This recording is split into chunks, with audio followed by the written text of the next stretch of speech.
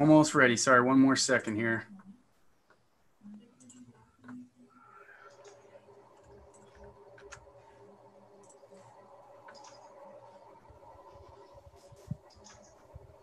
Okay, so we are good to go. We are now on the website. So I'll hand it off to you, David and Martha.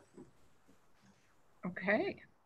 Well, I um, wanted to jump in and provide a brief welcome, um, provide, provide some context of um, where we're picking up, uh, start to tease out a theme to set the tone for the meeting, um, review public comment, and um, introduce David. So to start that off, just welcome everybody um, and thank you for attending.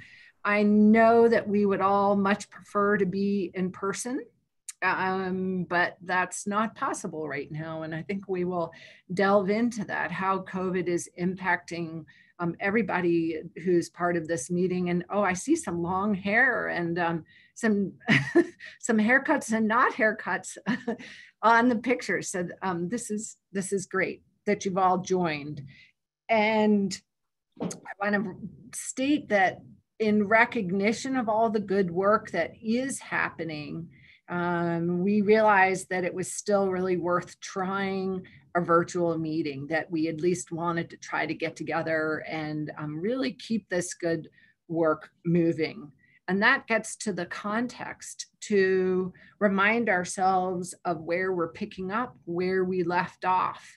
And if you remember last June, we all got together, so just a year ago, um, to revisit what value we really do provide as a committee, um, both around local, local issues and uh, um, subcommittees, and then also regional and national issues facing the committee. And I know for, I can speak for myself, but most of us who are at that meeting left, I think really inspired and um, fully um, committed to this committee as a whole and recognizing that actually its structure is needed now more than ever to help agencies involved in grizzly bear management uh, navigate emerging issues and promote and coordinate grizzly bear conservation recovery uh, across all recovery areas. And I think today's uh, agenda really reflects that and all the work that's happened uh, reflects that. Also don't want to remind ourselves and certainly the members of the public who are listening in that the IGBC does not have decision-making authority and respects the sovereignty of each member agency. Through mutual agreement, we can take particular action. And um, finally, for this context piece, to remind ourselves of the statement um, that we all committed to, and that is that the IGBC recommitted to its mission to support recovery and delisting and ongoing conservation of grizzly bear populations and their habitats in areas of the Western United States through interagency coordination of policy, planning, management, research, and communication. So um, proud of everyone for coming up with, I think, that really strong statement. We also recognized um, the need to remain relevant and, and committed to improving how we consider issues raised by subcommittees, advisory groups, and the public. And I think you will see an attempt at that throughout this agenda, but a full recognition that it would be a lot better if we could do this in person. Um, and so that gets to the public comment piece of this meeting that there's an opportunity to provide written comment throughout and I'll be checking in with Dylan uh, to see when those come in. And then there's a time at the end of the agenda for public comment. We had hoped had the meeting been in person, we would have been a little more innovative with public comment and allowed for it throughout. So that's something we look forward to doing when we get to be in person. So to set the tone of the meeting, the theme um, certainly that I'm seeing, David actually uh, said this analogy and it, it struck home for me is that it feels like right now everyone is turning in their homework and that homework's piling up on the teacher's desk we're the teachers, the IGBC is in this instance. And so um, really it's to get the presentations, get that information, let us hear that information during this meeting, know that there's gonna be um, further discussion between now and the July meeting, and then really teeing it up for um, what we're gonna do with all of that homework piling up on our desk and how do we take some actions and provide the guidance that's being requested of us um, at the July meeting. So uh, I also want to uh, give a shout out to the advisory team that they've done the hard work setting up this meeting without having an executive coordinator in place. And during COVID, they've been really um, innovative and creative and have carried the theme and the context of what the IGBC wants to be doing. I think they've really put that together for us and have kept the ball rolling. So with that, I want to introduce David Diamond, who's facilitating the meeting for us. Thanks, David. Thanks very much, Martha. Um, so yes, once again, so my name is David Diamond. I'm a employee with the National Park Service I work with the federal land managers in the greater Yellowstone ecosystem. So that's the Park Service and the Forest Service and BLM and Fish and Wildlife Service. And I'm happy to be serving as your facilitator today. Um, let me quickly bring up our slide deck. So again, as Martha mentioned, if you're joining this um, and streaming it on the IGBC website, um, you can send written comments really at any point um, uh, to Dylan Tabish and we'll be checking in. Dylan's going to be on the call the entire time. Um, and then we also will have the opportunity for a phone in uh, at the end. And then for the members of, of, the committee who are on the Zoom call, you know, we've already all done the, the mic checks and the camera checks. It's really great to see everybody. Um, and uh, so we'll just dive right in. So, um, well, too far.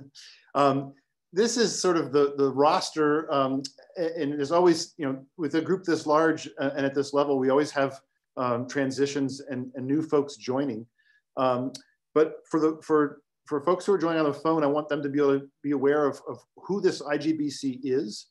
Um, and I, I, guess I'm sort of torn about leaving this uh, slide up or just letting people's faces be seen um, as we go through the, the roll call. Um, for folks who are joining on the on, online, the, the agenda has this same list on the second page. So I think I'm going to take this off the screen and I'm going to ask folks um, to just uh, briefly say hello. And we're going to go through the, the uh, um, uh, agency updates in a moment. Um, but let's start um, with uh, Idaho, Idaho's representative. Hello, everybody. Um, my name is Toby Boudreau, and I am the Chief of Wildlife for Idaho Department of Fish and Game. And uh, I've been on IGBC for um, almost two years. So, anyways, fairly new and uh, just uh, really, uh, really excited about the work we do and uh, always trying to improve it. That's about it. Yeah, perfect. Thank you, Toby. Uh, obviously, you've already heard from Martha uh, Williams, the chair from Montana. So let's go next to uh, a new member, um, uh, Hannah Anderson from Washington. Good afternoon, everyone. Uh, my name is Hannah Anderson. I'm new to IGBC. I am the um, Diversity Division Manager at the Fish Wildlife, and I imagine you all know Penny Becker, who um, recently held this role, and uh, she's moved on, and I now have her position. I'm super excited so to be um, here with you all. I've been, I'm going to say grizzly bear adjacent for many years now. I've been at the agency four or five years um, and working closely with Penny, but um, I'm excited to be uh, the DFW representative for this group. So thank you for having me. Great. Welcome, Hannah. Um, Wyoming. Yeah, thank you. I'm Tim Woolley. I supervise our statewide wildlife and habitat management section out of Cheyenne, although I am teleworking out of Cody, Wyoming today. I've been involved with the IGBC since about 2017, and I'm also involved with the YES committee. And I'm glad to be here. So thanks, everyone. Thanks, Tim. So those are the four states that are part of IGBC. Uh, then we have a series of federal agencies. We'll start with the Forest Service, which actually has four regions uh, represented here because every one of the recovery zones uh, affects Forest Service managed lands. So um, region one, or actually Jackie, we'll start with you. Hey, can you hear me okay? Sure can.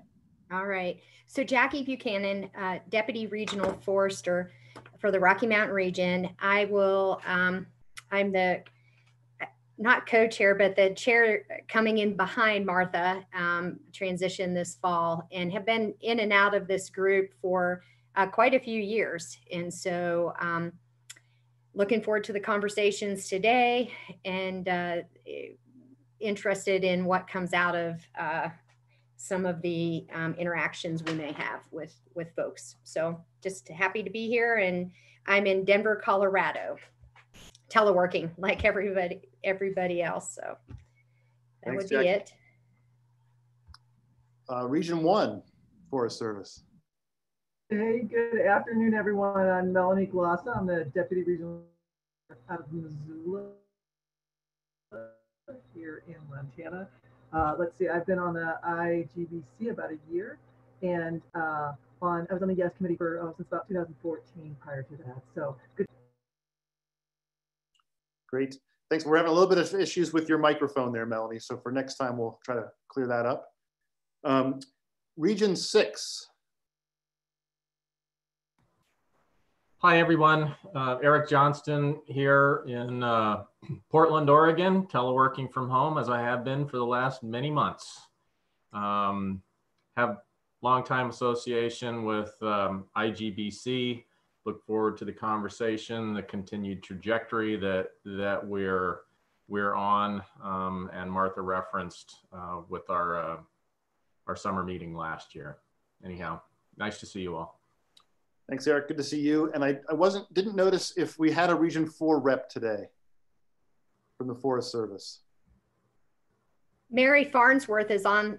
She was calling in, I believe. Um, I got a note from her. Okay, we'll watch for her. Okay. And we'll move on to the Park Service. Uh, let's see, uh, from the Pacific West, I know we had Karen. Hi, everyone. Uh, Karen Taylor Goodrich.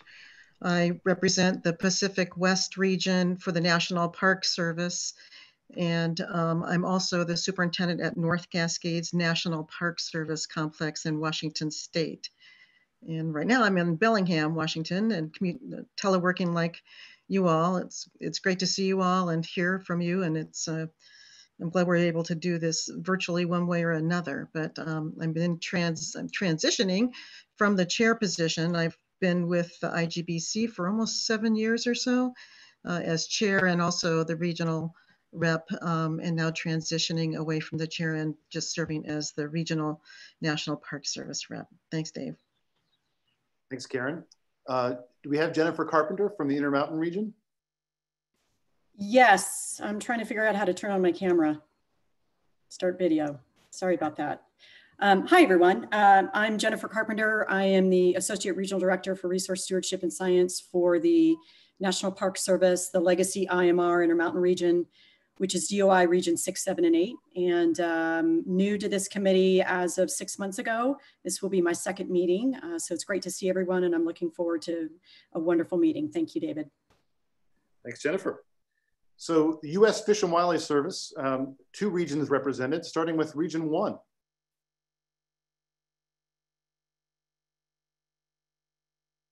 I know I saw Sorry about that. I had some user error going on. Um, yeah, this is Jim Unsworth. I'm the Assistant Regional Director of the Science Program here in Portland. And I, I think I said it last time. I'm this is the third agency I've represented on this uh, organization. So looking forward to a good meeting. Thanks.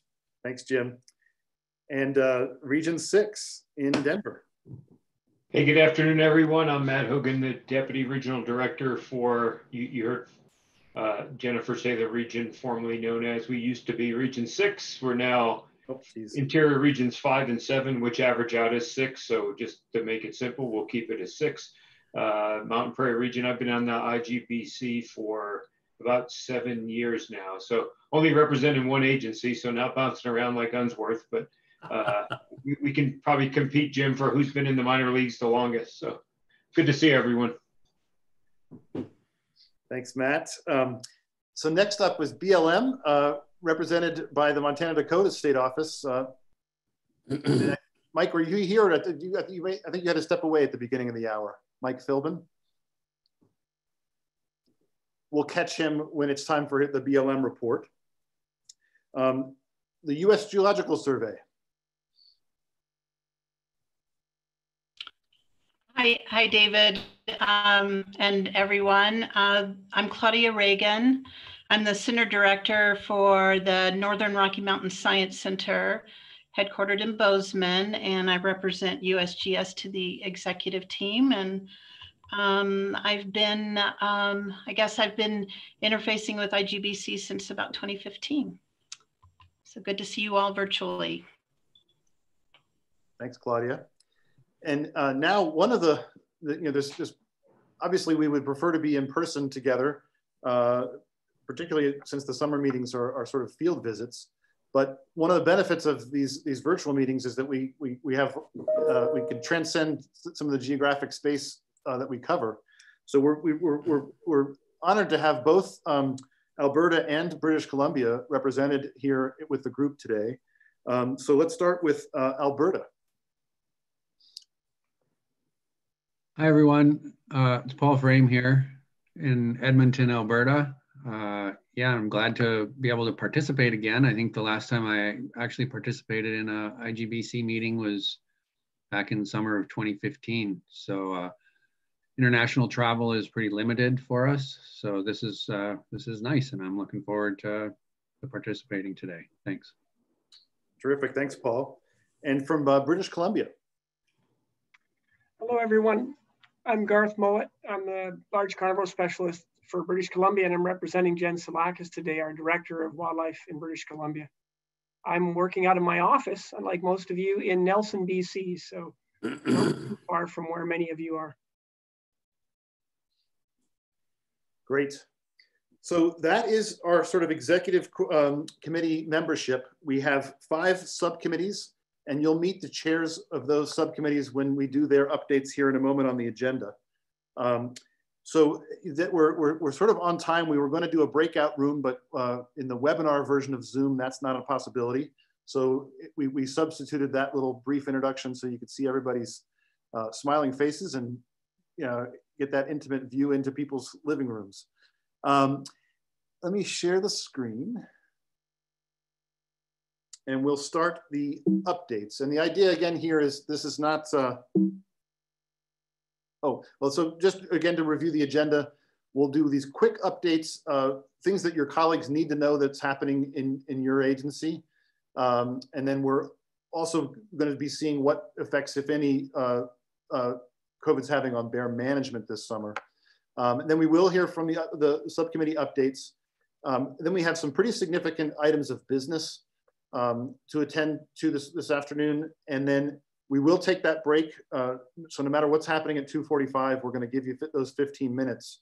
And then as Martha mentioned, the afternoon um, after the break really is these reports, these very substantive reports from um, folks that are, that are working under you as the executives in the information education outreach group, in the subcommittee groups that have been working on these conflict reduction reports, and then also we're gonna get a report separately from the state of Montana and from their, their Citizens Advisory Council. So it's a very full agenda, mostly informational.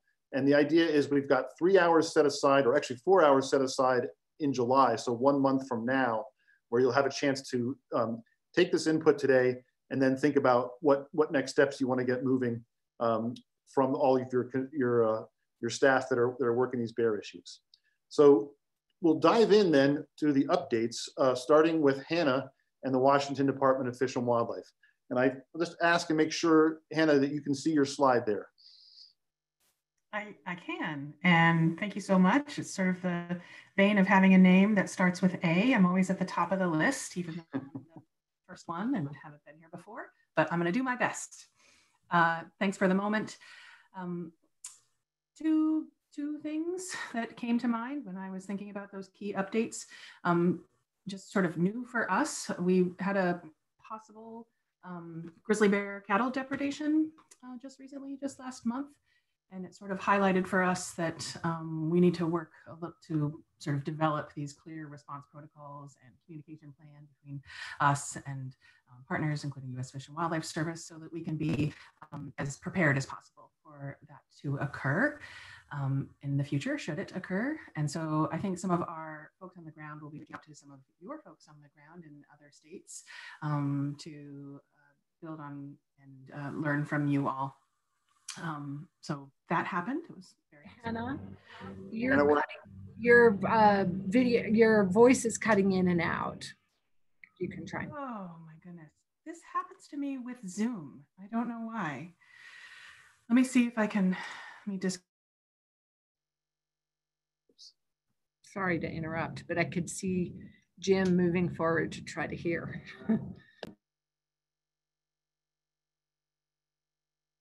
uh, now it looks like we might have lost Hannah. Sometimes turning the video off can help if they're having bandwidth issues. Yep.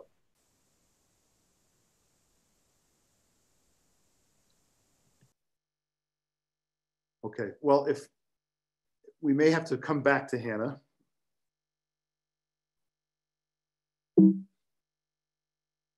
So next up, um, Toby is uh, Idaho Fish and Game.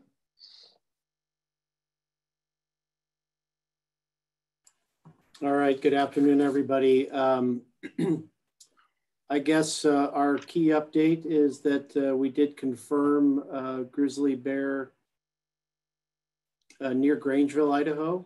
Um, kind of interesting story.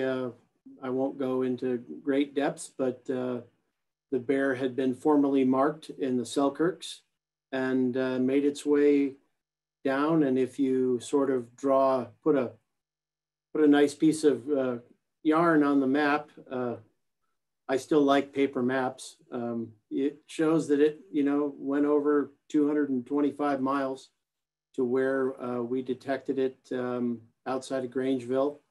And we detected it in a uh, last summer in a, a bear bait, uh, black bear baiting um, uh, camera that uh, the hunter uh, gave us the pictures. We went up and collected some samples. We were, it was one of those could be bears. And uh, we sent it off for genetic analysis and confirmed that it was indeed a grizzly. And then this spring, um, just outside of uh, Grangeville, uh, near a Nordic uh, ski area, um, we found pretty convincing tracks of grizzly bear. Um, we backtracked it and four-tracked it, um, tried to find some genetic samples. Um, didn't find anything that was meaningful, but the hair follicles uh, associated with the tracks um, are consistent with grizzly bears. So um, that bear now is a four-year-old and so far has not gotten in any trouble. There's quite a bit of cattle ranching uh, in that area. So, uh, so that's a good thing. And, um, and he is, uh, he's a four-year-old male and uh, he's not gotten into trouble. So, um, I, so that's sort of interesting. We haven't, uh, we haven't had any more reports of him or his whereabouts uh, since, since, you know, in uh, early, quite earlier in the, in the winter or late in the winter. So, um, other than that, um, you know, Idaho Fishing Game is trying to get everybody back to work starting Monday. Um, we've been teleworking since the middle of March, and we are trying to get everybody back. And I know that I had a staff meeting this morning, and I one of the staff members came on late because evidently there was a grizzly bear related wildlife human attack response uh, incident uh, that happened in Montana, but the victim evidently was transported to an Idaho hospital. So the woman that was involved in it is, uh, is fine. And then a few weeks ago, we had another incident um, near Island Park, um, near Henry's Lake. And uh, that gentleman uh, survived a bite to the belly and uh, he was in good spirits and uh, told his story freely to the media and put it out on social media. So uh, he, if you didn't see that, it, it's it's it's worth it's worth checking out. He had a very interesting and really good perspective on, you know, what was going down as he was uh, being uh, overwhelmed by a bear. He did have bear spray on, and so did his wife, but nothing happened to his wife with him. But yeah, so we've had our conflict so far, and uh, we've uh, moved some bears um, and we're going to be full speed and full staff for uh, the upcoming uh, research collaring effort in and around the Island Park area. And I just got another um, note uh, from the Selkirk's Cabinet Yaak area and Brian Johnson, our uh, grizzly bear conflict person up there, is dealing with a grizzly bear and set a trap today. So uh, they're out and they're getting into uh, beehives. So got that going. Um, other than that, uh, you know, despite the downturn in the economy, um, Idaho Fish and Game is uh, doing well. We've sold out all of our elk tags already uh, to non-residents uh, because I think that with all this time on people's hands, I think they're going to go hunting this fall. So that's that's a good thing. And um, yeah, so things are going good here. Um, and hopefully uh, everybody stays safe and healthy, uh, both in our agency and yours. So uh, that's about all I have to report, unless anybody has any questions. Perfect. Thanks, Toby. Sorry, next up, uh, Martha Williams with Montana Fish, Wildlife and Parks. Thanks, David. And um, I, I'd say we, I would echo many of the comments that Toby just said. I'm glad at least everyone on this call is healthy. We have seen um, an uptick, I think, in um, recreation users during COVID. We've seen a lot of people out. I know our state park saw a 60% increase in visitation um, as COVID first hit we've um, really been up and running all along as far as our grizzly bear work, um, some of our essential services, but all of our staff are not back in the office yet. And um, we don't have a clear plan on what that will look like um, yet, but certainly all of the bear work uh, continues. We, um, just like everyone else, have seen a lot of bear activity and in the expanded areas. So um, where we're used to seeing it, but also um, bear activity where we've not seen it before. So have been really busy. And in thinking of your questions, setting up the meeting, um, David, what do I hope to get from our time together today? I think it's um, realizing these commonalities that we are all sharing and uh, that are across recovery areas and um, how we have a lot to learn from each other. Uh, like the other states, um, we are also expecting a really busy hunting season if we're able to continue it. So um, lots of interest in that recreation. Um, and then later on on the agenda, Heather Stokes is going to present on our Grizzly Bear Advisory Council. That's something we've been really involved with and um, following closely and shepherding along. I, I guess I would ask, add one more thing that goes to four though, David, is just we are seeing the need to coordinate with our partners, federal, tribal, and other states. Um, we're seeing how that's just really important. So thanks. Thanks, Martha. And I see that Hannah has joined us again. Uh, let's give it another shot. We, we, we had I'm so sorry about that. I was trying to make the sound better and I made the whole thing break. Um, hopefully you can hear me. Uh, is it okay? All right. Um, okay, so quickly, uh, we did have a recent possible grizzly bear depredation um, just this last month. Um, we weren't able to confirm um, if it were a grizzly bear or black bear, um, but there was indication that it was bear, a big bear. Um, so it sort of highlighted for us that um, having not had that experience much or not in the recent past, certainly, the need to um, making sure we have good response protocols, that our staff are ready for that should it occur again, a communications plan and others. So just to prepare for any future events. And so I know some of our on the ground folks will be reaching out to um, our partners in other states and um, other places who have um, maybe dealt with that situation a little bit more than we have. Uh, also, just, you know, secondly, the other big deal, right, in our state, uh, we're still waiting for the decision or the update on the North Cascades ecosystem recovery, um, EIS. And then as far as COVID-19 effects, you know, like you all, we're all on mandatory telework. The offices remain closed. We have been able to open for field work um, the beginning of the beginning of this month.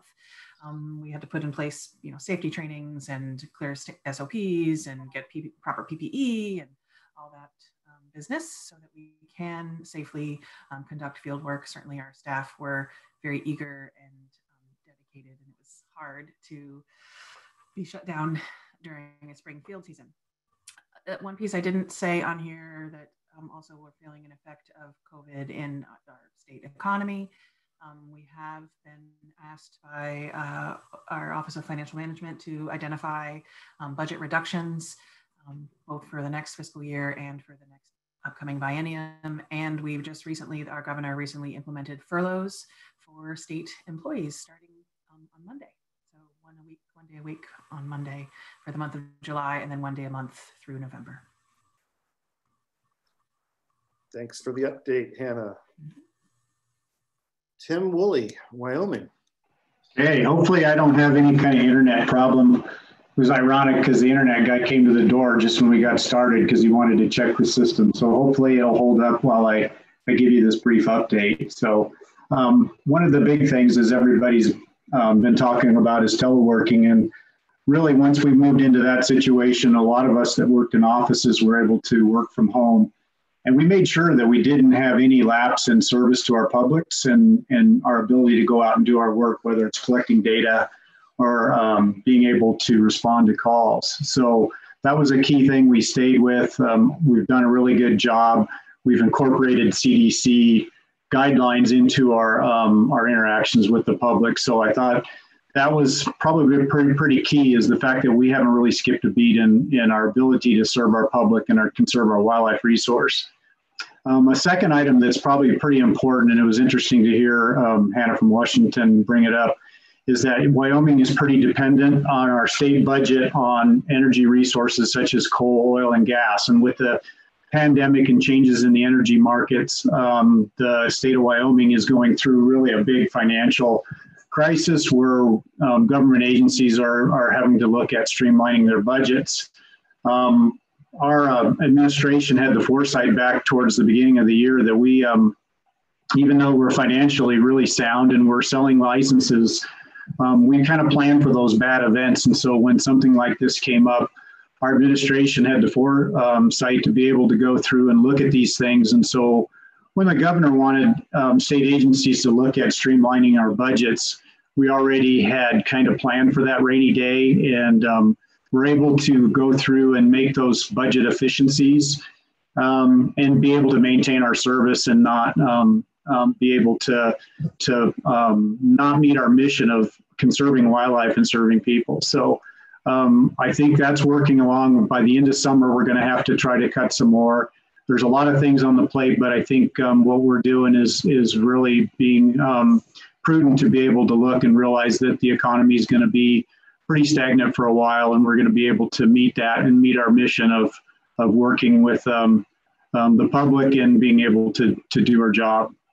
And then finally, a grizzly bear related topic. We um, we had a couple of bear human conflicts, one in Dubois and Cody.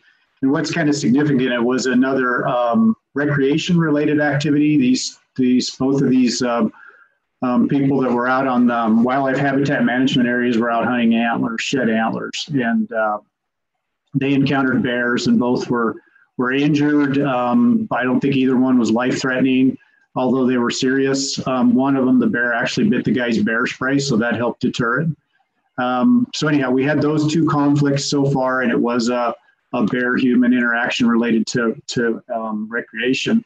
Kind of related to that, one more thing is that um, I talked with our our Bearwise coordinator. And um, at the YES meeting, one of the things we talked about with one of the YES members was working on a video for guides and outfitters on safety in the backcountry. And that's something that we started working with the Wyoming Guides and Outfitters Associated Association to be able to uh, work on that video to improve safety in the backcountry. So that's that's underway.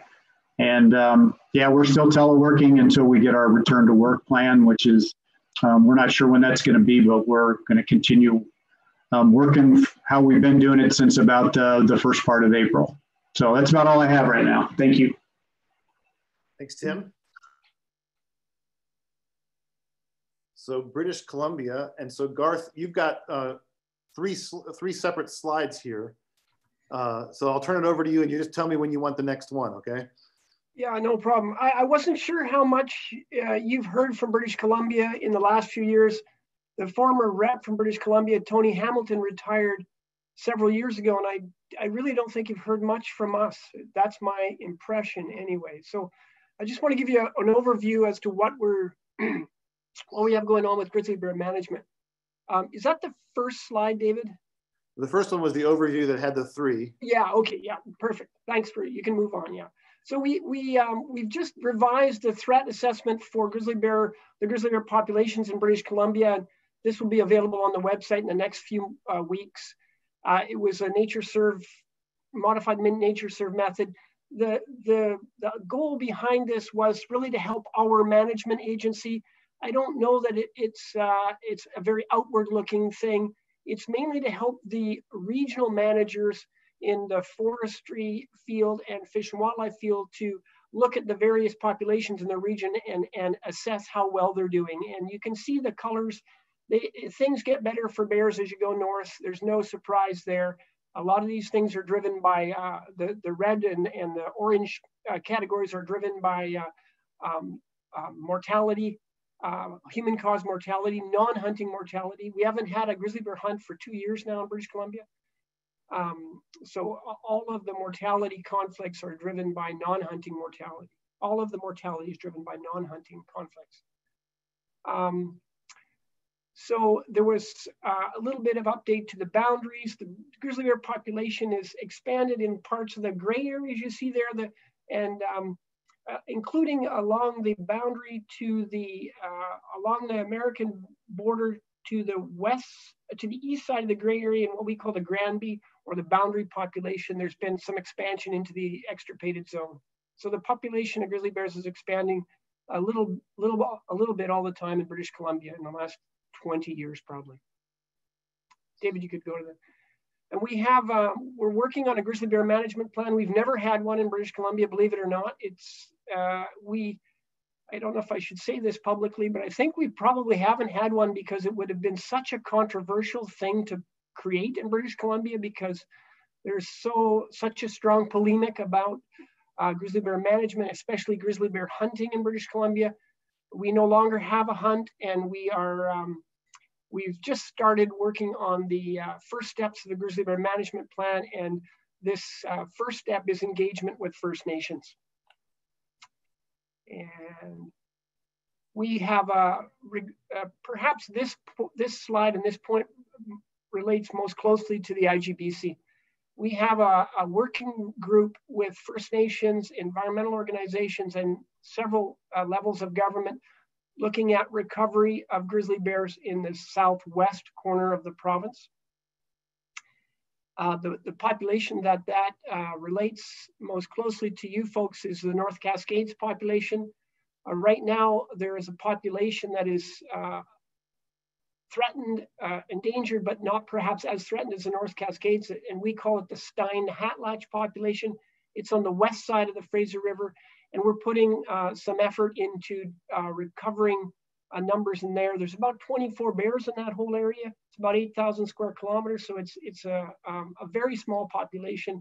It's quite isolated. It's the most genetically isolated population we have in BC, and we're uh, hoping to augment this population with some subadult females this fall. Uh, we also have some other work going on the ground with respect to access management and trying to minimize mortalities. So Hope, uh, you might see Hope there at the very uh, bottom part of your slide. uh, the lower mainland. Uh, so the, the, the, the, Washington border is only about uh, 40 kilometers south of Hope or 50 kilometers south of Hope. Um, the last, the, the next thing that we want to do with this group is to um, prepare the documentation required to seek the approval for the government of British Columbia to consider recovering grizzly bears in the North Cascades uh, portion of British Columbia. Uh, this is strongly supported by First Nations in the area, and a lot of the motivation comes from First Nations, in fact. Um, so we're in the process of doing that now, and, and uh, uh, we take a lot longer than we, the time we have now to talk about what we are doing. It's, it's scoping work, habitat scoping, uh, and uh, access scoping, and mortality risk scoping, hazard assessments, things like that. We're, we're probably halfway through what we need to, to do um, for that um, work. And do I have another slide, David, or is that it? That, that, that was it that I had. Very good. Thank you very much. Thanks, Garth. Uh, terrific to get that update and to have you uh, with us. Uh, so next up, uh, Paul Frame from Alberta.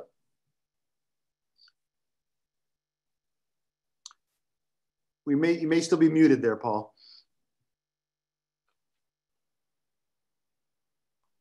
Yep, sorry about that. Um, trying to shuffle. I had something that I was going to be using for reference covering the covering the mute button. Right. So uh, so three points I guess that I thought I would uh, present the to this group that might be interesting are um, so we so uh, grizzly bears have been listed as threatened in Alberta since 2010. Um, we we identified a, a, a need for changed man, change, uh, changes in management strategies earlier than that and came up with a, a recovery plan in 2008. Um, that was a five-year recovery plan from 2008 to 2013. We started the update process in early 2013. Uh, had a final draft by 2015, put it out for public consultation in 2016, and it's been working its way through our internal process ever since. Um, it's uh, we had a change in government last year, which slowed things down a little bit, but um, but we're finally this the new government is ready to release our updated grizzly bear recovery plan for uh, in in the next few weeks here. Um, so that's exciting for us. Um, I don't know, and maybe interesting to to you all. Um, so the, the main thing, the main difference in this new updated plan from our previous plan, uh, basically is we just, we identify spatially where the government intends to recover grizzly bears to help focus our efforts a little bit and help um, help ease some of the public concern about what it is that we're trying to do when we talk about recovering grizzly bears. Um, so that so that's uh, so that's exciting to finally have that coming close to being done. I've been in this position since June of 2016, and the second email in my inbox was with a call from a colleague to start working on this recovery plan. So we're real excited to have this almost ready to go. Um, and a part of why we're really excited to have this almost completed is that um, while we've been in the process of developing a recovery plan and recovery strategy, the grizzly bears have been recovering, right? So we haven't been hunting them. Um, we've been working at public education and outreach to reduce human bear conflicts, which require us to move bears or put bears down. Um, so, so we've been seeing a, um, an expansion in numbers and range in Alberta. Um, so, so we're our next steps are so we get the plan in place, and then within the next couple of years, we hope to have an, an updated status assessment. Now, there's a couple of populations that are still the status is questionable, so we may not change it from threatened to at risk, but um, but at least we will have a, a, a more thorough understanding of, of, uh, of the status of the bear population in Alberta here. And then another point that I just I thought would be relevant to a lot of members of this group was is that our um, FRI research grizzly bear program, which uh, Gord Stenhouse has been leading for the last 23 years, is is scheduled to come to a an end at the end of this fiscal year. So he's been on secondment from the government to the Foothills. Well, it used to be Foothills Research Institute. Now it's just FRI Research.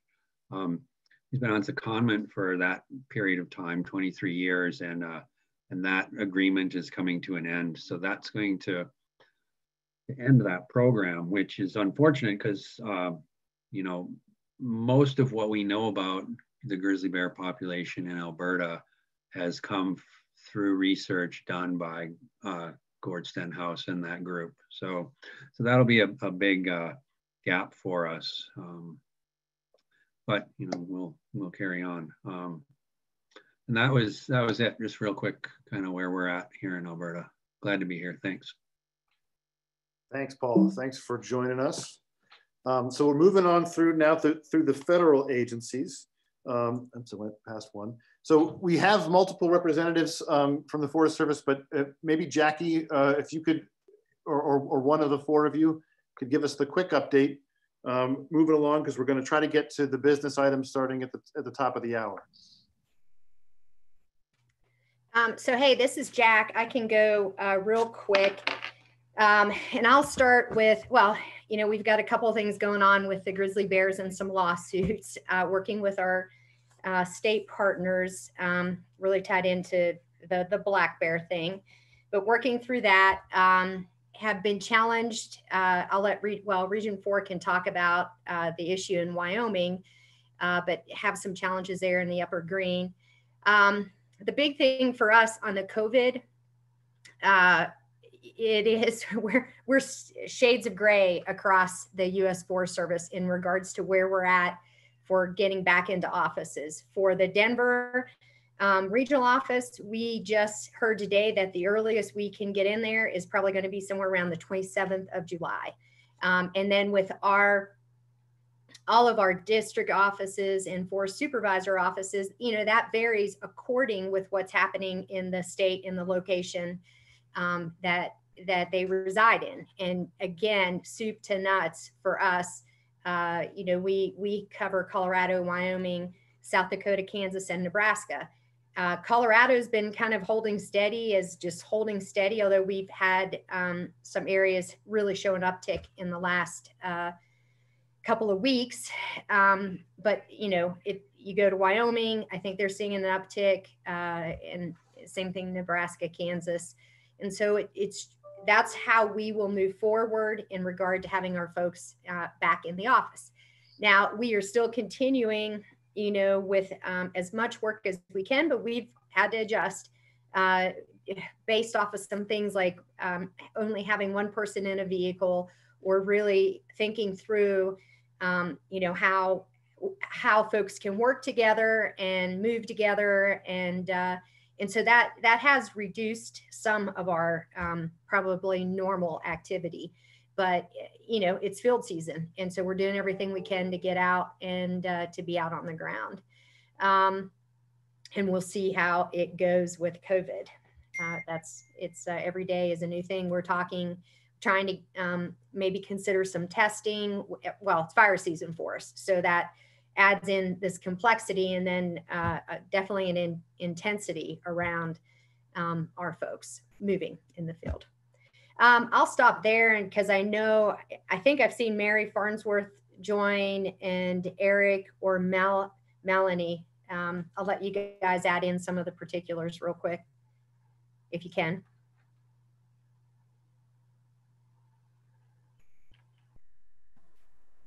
Well, I guess I could. This is Eric. Um, I could chip in a little bit on some of the litigation uh, stuff, and, and basically for us in the Pacific Northwest, it's kind of westward movement of some of the litigation issues that those of you that are east of us are are quite familiar with, um, like the the issue of um, where bears may be present, and so you know the protocol the Fish and Wildlife Service is working on right now is is really timely in, in, in that regard to to nail that down. Um, and then there's also, you know, further over in the Cascades, there's there's uh, the the issue of uh, relative to um, consultation at the plan level has arisen, um, and that that had its genesis actually with lynx over in Montana. But anyhow, again, west westward movement of some of the issues that have been litigated over there, and I, I don't really have anything else to add on COVID. Um, Jackie, I think covered that well. I think most of our regional offices are, are still in telework mode. And as she said, the more rural and outlying are, are opening up um, based on local circumstance and, and, and decisions there. I, I, guess the only other thing I would add is that our, our, our focus has been on health and safety of employees and the public first and foremost. And uh, I think we noted, or it's noted in there uh, down there that the whole issue relative to recreation and how we handle recreation sites has been been huge um, and coordinating with with states and so on and so forth so that we're we're consistent in that regard that that's what i would chip in yeah and to follow up on what eric just said you know we in region two we're seeing like double the impacts and double the visitation rate from what we normally would see I, I would bet that's the same for everybody. Um, it's because I think folks are not, they're going where they can drive. They're not flying. And so it's just really pushed the public out. So, um, you know, I, if anything, I would expect we may have some more conflicts this year just because of the increased presence of bodies out there.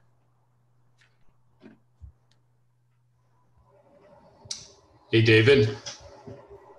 go ahead, Chris. Sure. Yeah, Melanie's having some audio problems, so she just wanted me to touch base on some northern region items that maybe just expand a little bit that's in the bullets. So the other thing that we've seen in some litigation here recently is um, is going to test the uh, demographic connectivity areas related to the NCDE. Um, we have a recent uh, NOI on that for a, a, a project on the Lolo National Forest that is proposed in that DCA. I'm still working closely with both states of Wyoming and Idaho on the bear baiting lawsuit and how that's moving forward. Um, and then also kind of coming up with some new uh, monitoring procedures around how we how we determine effectiveness of our road closures. And so we lost a lawsuit on that here um, earlier this year, and that's we're starting to see that also affect some other you know other uh, that was a lawsuit in the Selkirk Yaak ecosystem, and we're starting to see that argument come up in some of the other ecosystems. And so making sure that we identify those, the effective road closures and how we consult on those. I think the only thing related to COVID that I we haven't heard is we definitely see see are going to see a shorter field season this year with the hiring of seasonals and then um, with a lot of the universities trying to start earlier than normal.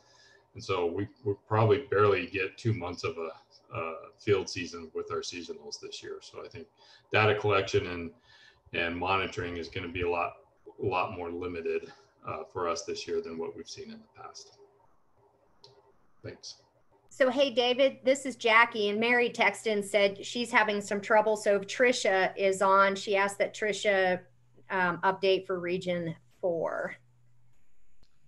I can do that, and this will be pretty quick. And I was actually going to touch on this in the in my update for yes, so um, it'll be one less thing to do there.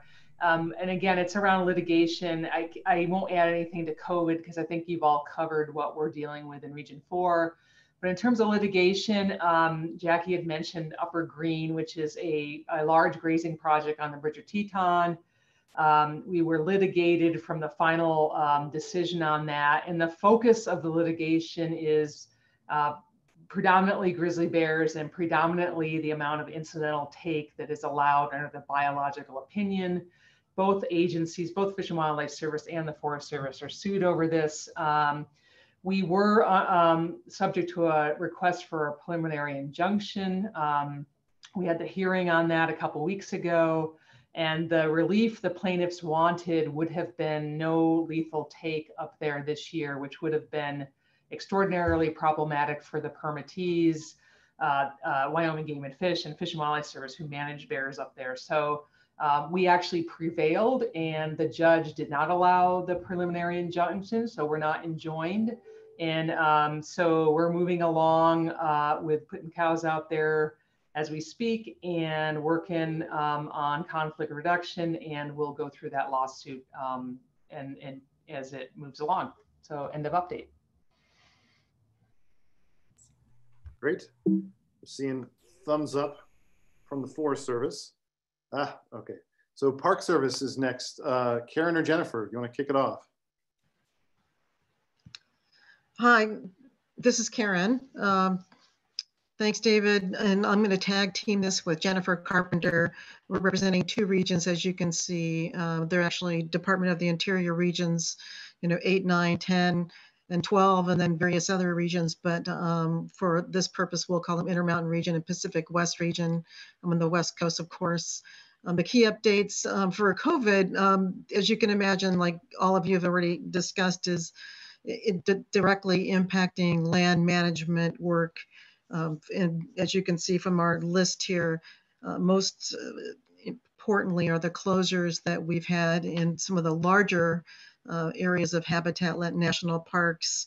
Um, you know, all of North Cascades, for example, has been closed until just two weeks ago, and we were um, allowed to open under the state's phased plan. And so we are, you know, according to the National Park Service's Adaptive Recovery Plan, which is service-wide, um, we can uh, base our determinations as local land managers on what the state is doing as well as what you know the president's um, gated criteria and CDC guidelines. So I know many of you have already gone through all of those steps as well. But um, the good, the positive thing for us was being able to try to be in sync with our states as much as possible as the conditions allowed for these openings. But it definitely delayed it at least. And Jennifer, feel free to jump in here. Um, the field season and just even able to bring on employees to do those projects. And so we're just now working into that field season in many of the parks that you've seen, not just North Cascades, but Yellowstone, Teton Glacier.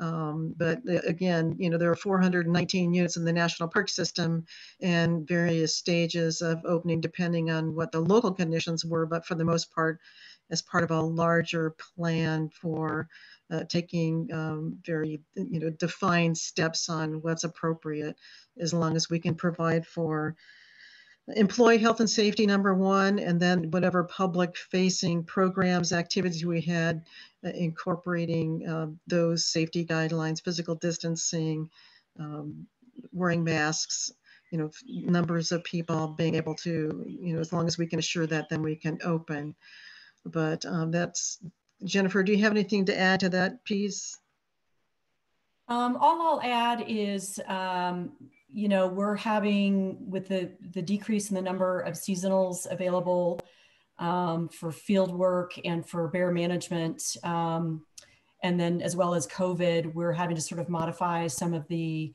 bear management activities, especially at Yellowstone and Tetons. And Tetons specifically is experiencing a really high volume of visitation in a really small area. And they've got, um, I don't know if any of you all know of Bear 399, which is this 24 year old sow that uh, wanders along the road corridors in Grand Teton. And she came out with four cubs of the year and has been quite popular uh, with visitors. And people are coming far and wide to get a glimpse of her and those four cubs, which is wonderful, but it also creates uh, significant management issues um, and trying to deal with COVID um, and employee safety as well as visitor safety and then safety of the bears. Uh, Tetons had a couple of, of, additional items to share. They kind of came in late breaking. Um, apparently, there was an adult male grizzly bear broke into a window in an occupied structure in park housing. So that's a first in that park, um, pretty aggressive. I don't know what the outcome of that particular bear was. Um, and then I talked about grizzly bear for uh, 399 as well. So yeah, I think that's all I've got to add to, to Karen's update. Thank you. Okay, thanks. And then as far as the uh, the for the National Park Service over in the Pacific West, our our focus has been on the North Cascades Grizzly Bear Restoration Plan EIS process, and we've been at it for about five years now.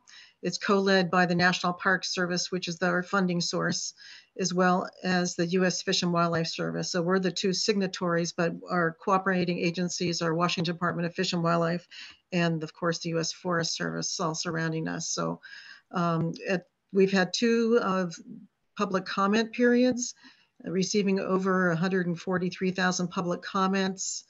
Um, at this point, we that was on our draft environmental impact statement. That that is still uh, the document um, on the table is the draft, and uh, we are waiting further uh, guidance from the Department of the Interior on that process. Um, other than that, um, I'm not sure, Jennifer, you want to talk about it, the Bear Information System uh, transition at Glacier National Park as another update that we uh, it's more that they're, they're, just having some uh, growing pains transitioning that system over, and they're having to do paper copies of contact reports and um, just having a difficult time with it. But they'll, I think they'll get up to speed on it. But it's just, uh, it's the transition that's been very difficult for them. Thank you. Great. Thanks, Jennifer. And I think Mike Philbin has rejoined us. Mike, if you could uh, give us the BLM update. You bet. Good afternoon, everybody. Yeah, I'm going to focus on the updates on changes in personnel. Uh, we've made some good progress at filling some key leadership positions. Uh, primarily our Eastern Montana Dakota's district manager, um, Scott Haight. He'll be covering our Miles City, North Dakota, and South Dakota offices.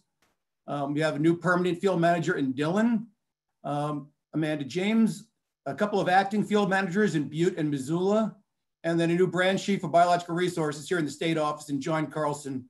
So getting some key leadership positions filled, which we're excited about, moving from the parade of actings into actually permanent positions. Um, in terms of the COVID, uh, most employees are back in our offices now. I'd say about 80% are back in the office. Uh, most of the folks who are still out are those folks who have um, just concerns about returning pre-existing conditions, um, some childcare issues if there's not a place for their children to be and they're still trying to line up some child or elder care, uh, but about 80% are back. Uh, the exception is our Miles City field office. Uh, the BLM Montana code is we're monitoring uh, the situation on a county by county basis based on where our offices are located. Uh, Coast, Custer County had a surge, um, so we retreated in a Miles City office and we backed them off stage two Montana to stage one um, so we are max teleworking out of Miles City again until that situation is resolved. Um, and uh, that's the only office now that is in that situation. Um, our field season is underway now. Um, it was delayed in starting, um, but we now have all our seasonals on board and operations are going forward. Um, Fire season is also continuing with fuels treatments, and we have quite a few folks down in Arizona right now helping with suppression efforts down in Arizona. Uh, one of the things I just found out about today, while I was late to this meeting, um, we are arranging testing for folks in Montana Dakotas. Uh, we just we just procured our first thousand tests, and we're looking at doing testing of all employees that want to be tested on a monthly basis. Um, so it'll be for all employees on you know, on that monthly basis, plus firefighters, when they return from assignment, will be given a test before they get reassimilated into the Montana Dakota's workforce. Um, so we are taking on that active testing, uh, likely for the next four months or so. Our target is to uh, procure about 5,000 tests or so to cover our employees. Um, in terms of travel, um, you know, some of the other things were discussed by the by colleagues in the other agencies with uh, folks in vehicles and the like. Um, but our rule on travel is folks are allowed to do non-essential travel to other destinations that are in the same phase as their home office. So with Montana being in its phase two, um, we can travel anywhere in Montana Dakotas that is in that same situation, but they would not be approved to go to Denver or a place that was in a a phase that isn't quite as advanced as we are. Um, so that's another one of the mitigation measures that we put in place here in Montana Dakotas um, to kind of track where our employees go. And that applies for non-essential travel. Uh, fire assignments are considered essential. Um, so those folks can go to uh, locations that are not in the same location as Montana. And again, as part of the mitigation there, we are going to be uh, providing testing for those folks upon their return. Uh, and that's all I have for today. Thank you. Thank you, sir. Next up, the U.S. Fish and Wildlife Service. Thanks, David. Uh, so Jim had 45 minutes of prepared remarks, but in the interest of keeping you on your agenda, he's yielded all his time to us. So, uh, so thanks, Jim. So I'll be brief and then I'll turn it over to Hillary to talk a little bit about some of the detailed work her office has been doing since we last met. But um, I, I, won't talk a lot about COVID. I think we're in a similar situation as a lot of other folks, uh, uh, really prioritizing our field work and minimizing bringing people into offices at this point. But um, just a quick update when we were together in December, I think I talked to the committee about um, the secretary visiting Eastern Montana and having a town hall meeting to hear about grizzly bear conflicts along the Rocky Mountain front.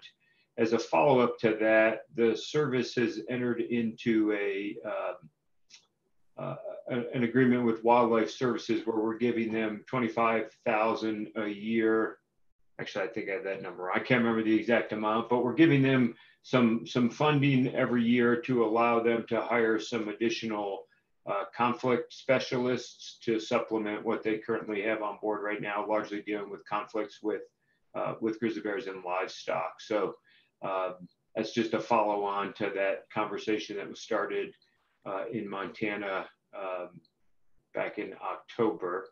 And um, I guess I'll just stop there in the interest of time and turn it over to Hillary to talk about the Section 7 and the five-year status review, as well as specific impacts to her field crews with COVID.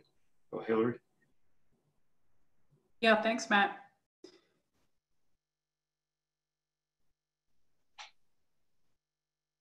I'm waiting for David. I think you got to switch me over. Oh, do you need to take the screen? Oh, no. Okay. That, sorry. I thought I needed to be highlighted.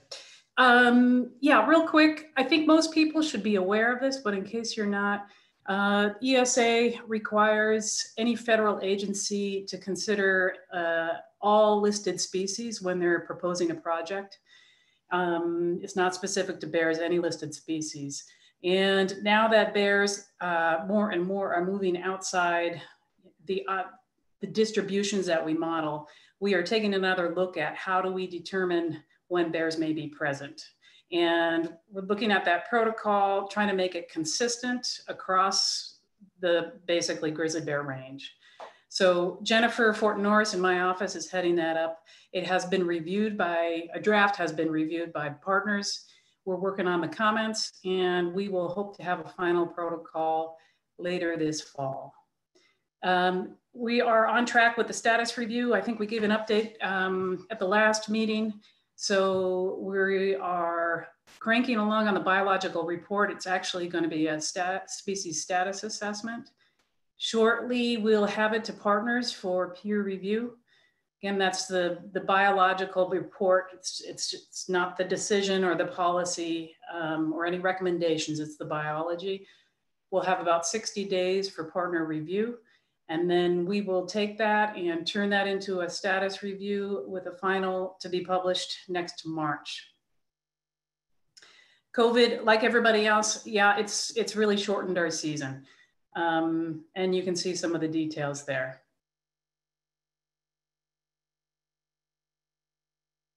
Any questions for Hillary? Jim, anything additional to add? Okay, um, Claudia, USGS. Um, so like others, we've been effectively, and I would say almost seamlessly teleworking since March. Uh, USGS has taken a very cautious approach to implementing field research, um, and um, a lot of effort was put into developing protocols that would allow us to safely get back into the field. Um, so the USGS Bear Team's field season was delayed in starting, um, but um, they are up and running. They started their annual research captures in mid-June. Um, still working to bring on the full um, full team of seasonal field personnel, and the expectation is that we'll resume our full schedule by early July.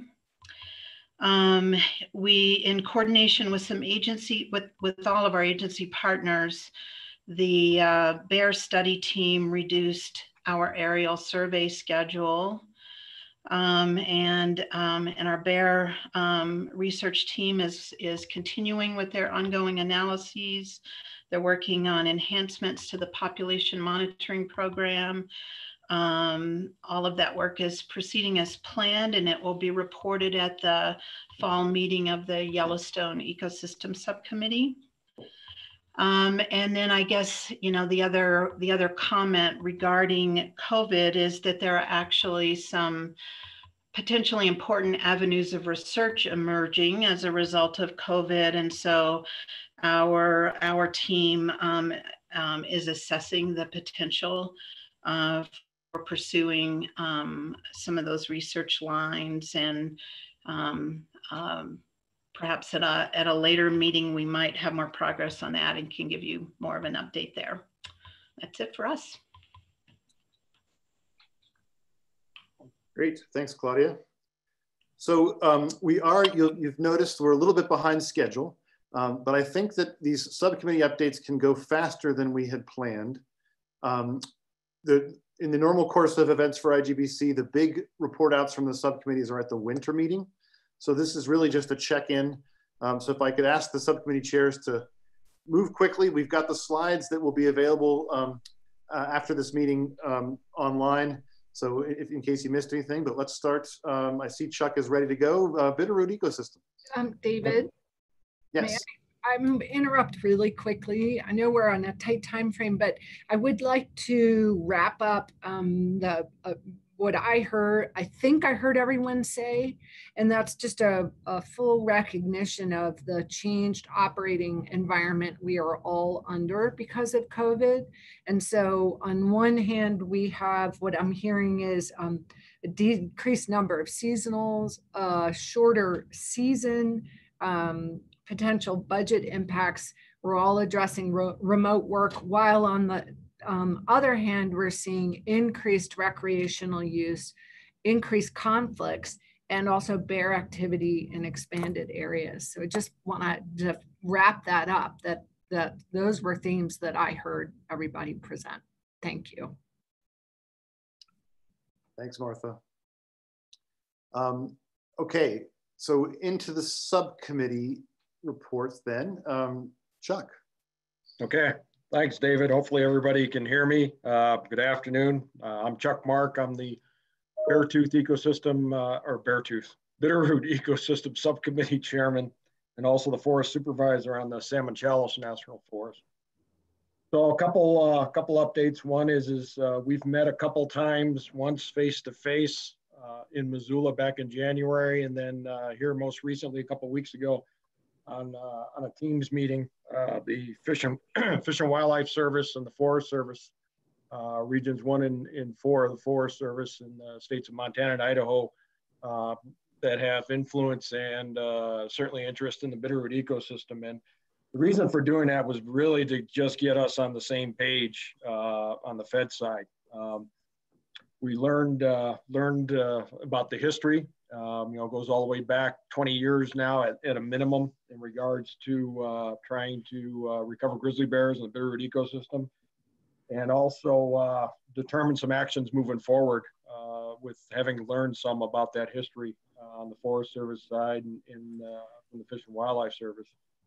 Some of the things that, that we identified back in January as far as needs, one of those, and, and I'll touch on this a little bit more, is a, is a overall comprehensive communication plan on where we've been, how we got to today, and where we're going. Uh, we've also uh, feel the need to uh, re-examine the recovery plan. Recovery plan is, if I, hopefully I've got this right, 1993 vintage, and obviously things have changed over the last 27 some odd years, especially in and around the Bitterroot. So um, need for relocation sites, and we've talked about this certainly within our subcommittee and probably some of the other ecosystems. Uh, we have definitely got a need for short-term and long-term, you know, these bears that are moving from other areas uh, into and towards the Bitterroot, um, you know, the next bear is just around the corner that's going to show up and uh, not necessarily be in trouble, but it's going to be okay. What now? And uh, and we certainly need to have some strategies. I know we're starting to have those conversations, but I think myself and some others uh, feel more of a sense of urgency in regards to that, especially for some short-term places to put bears to uh, maybe keep them out of trouble.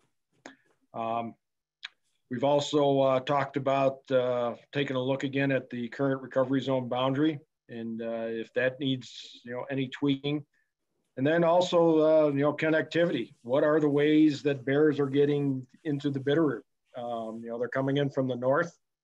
Um, you know you heard Toby a little bit earlier talking about uh, you know the Grangeville Grangeville Bears. And uh, second second hand information I've got, you know, we've got bears, you know, as we speak over in the Big Hole, just east of us. Um, so, um, you know, what uh, you know, identifying those connectivity areas and how we would manage those and how we would work with the local communities in regarding to those connectivity areas that'd be so important for recovery of the grizzly bear and the Bitterroot ecosystem is is really an important important arena of uh, discussion and, and decision making. Uh, we also identified signing protocols in regards to these expanding bear populations. I know Cheryl Probert, forest supervisor up in Nez Perce Clearwater, earlier this spring was looking at a forest-wide uh, uh, sanitation order and uh, food storage. And, and, uh, and I know, uh, and this is neither good nor bad, Idaho Fish and Game has been working with some of the other forests up in North Idaho and over here in the Caribou Targhee and how we do that. And so I think we've got some work to do there, uh, especially within the Bitterroot and uh, you know, just coming up with some standard protocols and, and how we approach, you know, uh, you know, we'll say food storage, sanitation orders, and how we, you know, how we measure the, you know, where do we put those in regards to the expanding bear population? Because it's not as straightforward as, as you might think it might be. Um, certainly, coordination with with tribal partners is still a, is still a real need. And then uh, uh, we also, I think we just touched upon, some folks touched upon consultation. Uh, we need some consistent, we'll say analysis units, you know, within the uh, Bitterroot ecosystem with regards to consultation, which we don't really have identified at this point. And then some training for our Section 7 consultation biologists, you know, in the Forest Service.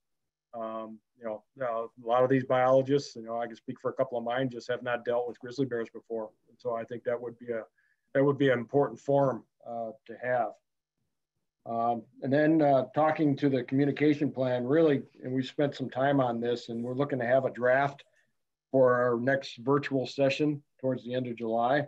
But uh, you know, we want to we want to identify, you know, bring folks, you know, and I'll say the larger community and the communities in and around the Bitterroot ecosystem up to speed with, you know, how to, you know, what is the status of the grizzly bear today, and how did we get here, you know, within the Bitterroot ecosystem and then identify, you know, uh, certainly some short-term actions, you know, moving forward. You know, we've talked about these before in regards to bearware education, food storage and sanitation, you know, the identification of relocation sites and then connect connectivity areas just for starters. And, uh, and so that is really important, I think, in regards to setting up, you know, a good foundation for the recovery of the grizzly bear into the future here in the Bitter, Bitterroot ecosystem.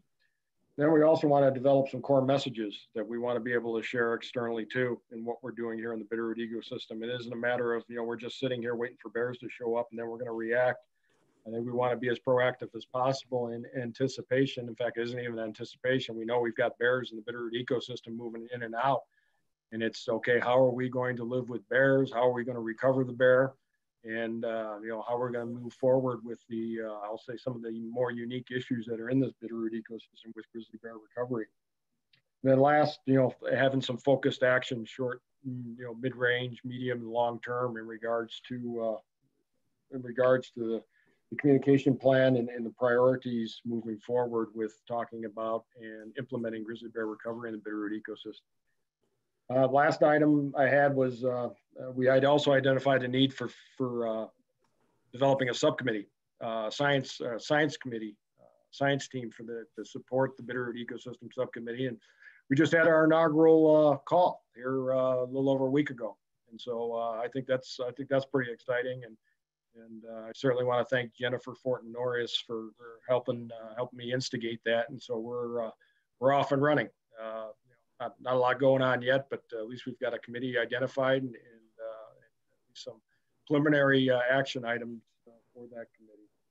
Great. I think the last last thing I'll touch on in regards to COVID is even though so much has been talked about, to me, especially where I've been spending all my time as a forest supervisor, it's all about recreation and fire management.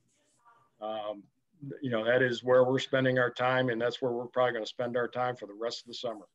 Uh, I think that's guaranteed. You know, especially with you know the strength of the Wildland Fire Fire Organization is in moving resources to the greatest places of need. Well, obviously that is present, presents some predicaments and some complexities with uh, the way the you know in regards to the COVID-19 and uh, the coronavirus, and then certainly recreation has been uh, has been challenging. Uh, just uh, as a uh, matter of discussion, you know, I've got you know, middle forks and main forks of the salmon, in which you know we we launch seven boats down the, down each river a day, you know, and that's presented some complexities with trying to work out protocols and standard operating procedures in regards to sanitation, cleanliness, social distancing, etc. with, uh, with the outfitting community.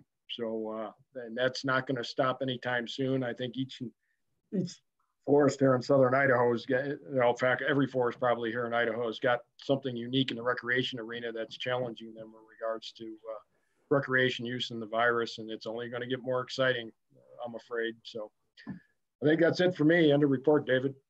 Very good. So for the North Cascades, oops, suddenly developed an echo. Um, Kristin Bail from the Forest Service, I think I see you uh, on the screen. Mm -hmm. uh, Karen mentioned that you were stepping in as chair here for this subcommittee. Uh, welcome. Thank you so much. Yes, um, I became the forest supervisor uh, last September, and um, I was um, very honored um, to be able to follow behind Karen's footsteps after serving for so many years. Um, there's been some good information that uh, has already been shared that um, applies to our eco, North Cascade ecosystem. in particular, Eric Johnson's discussion of litigation, um, you know, the, uh, the mentions of um, impacts from, from COVID-19. Um, Karen Taylor Goodrich gave a good update on the um, status of the EIS for, for recovery.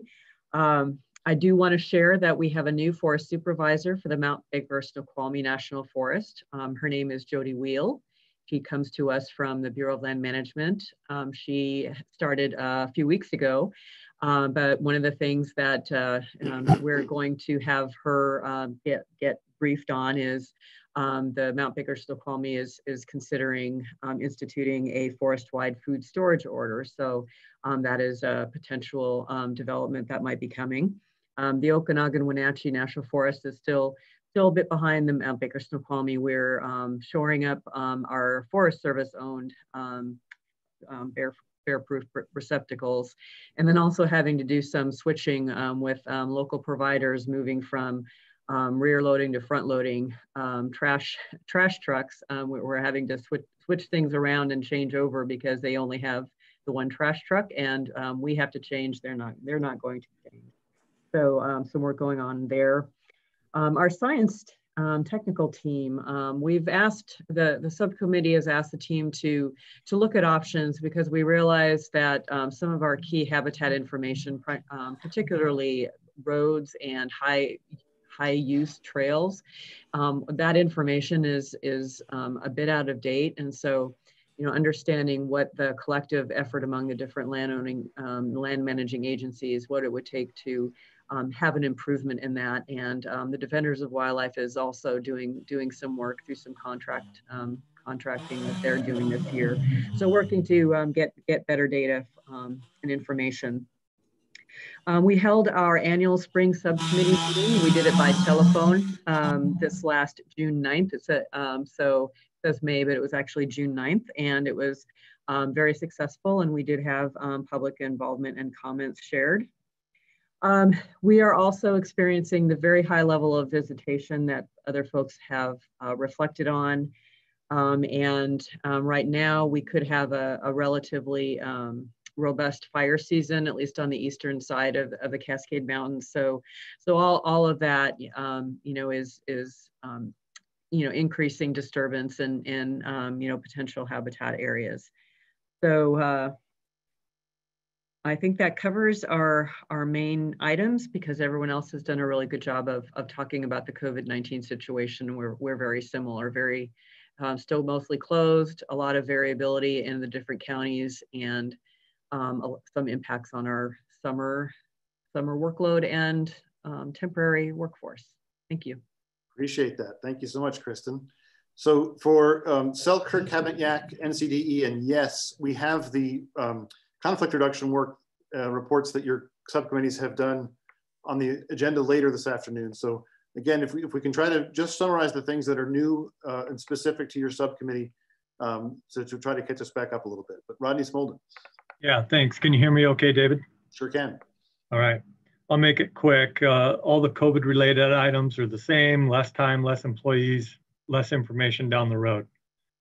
Um, Non-COVID related, um, the uh, Selkirk Cabinet Yaak was able to uh, scrounge up about 15 trail cameras to provide to the British British Columbia effort, uh, population estimate effort that they have underway. They're in year one uh, of a two-year uh, field study, uh, followed by another year of analysis. So we're a few years out to get a better handle on what that population estimate is on the British British Columbia side of of the Selkirks. Um, staying with the Selkirks, uh, there's been four mortalities in the Selkirks, uh, two in British Columbia, two in the US. The two in British Columbia are uh, still under investigation and they were two adult females. Um, there was one sub-adult sub male in the US under also under investigation and then um, a sub-adult female um, that, that uh, we lost with a, a vehicle collision. Uh, no mortalities that we know in the cabinet Yaaks to date. Um, the committee was able to meet, uh, subcommittee was able to meet in an abbreviated um, fashion here just a couple months ago. Um, our efforts, uh, Randy and I were working together to get the Northern Continental Divide subcommittee together with us. Uh, we had a time, we had a date, we had a place, and then uh, our lives were disrupted like everybody else's. So still looking forward to being able to connect with uh, NCDE at some future date. End of report. Thanks, Rodney. Randy Arnold. Yeah, good afternoon. Randy Arnold. I'm the regional supervisor for Montana Fish, Wildlife, and Parks, and currently the chair of the NCDE. And yes, we had a, Rodney and I had a great uh, spring uh, co-meeting planned between the NCDE and the Selkirk Cabinet Yaak place uh, and everything all worked out. Social hour all figured out. But we did move to a, a virtual platform on May 29th for our NCDE meeting. And um, because it was a little later than normal, we had an opportunity to pull our conflict specialists together. Normally we get those reports from them in the, in the fall. And they were um, almost all reporting higher conflicts than normal in a lot of places. We had a number of depredations, um, we did euthanize a number of bears and relocate bears. A lot of variable um, issues there, depending on which side of the NCDE you're under. Um, and the um, last piece on the NCDE regarding some administrative updates, um, the conservation strategies has been completed for a while, but we did put together a process to keep up those necessary changes to the conservation strategies as they bump up. And I think we finalized the last of some issues about managing um, AUMs and uh, comparing apples to apples um, on some of the reporting requirements. And then um, outside of that, a lot of conversation around our mortality, uh, but I think uh, Hillary and that conversation should pick up most of those details, David. So thanks. Great. Thanks, Randy. Uh, Tricia O'Connor.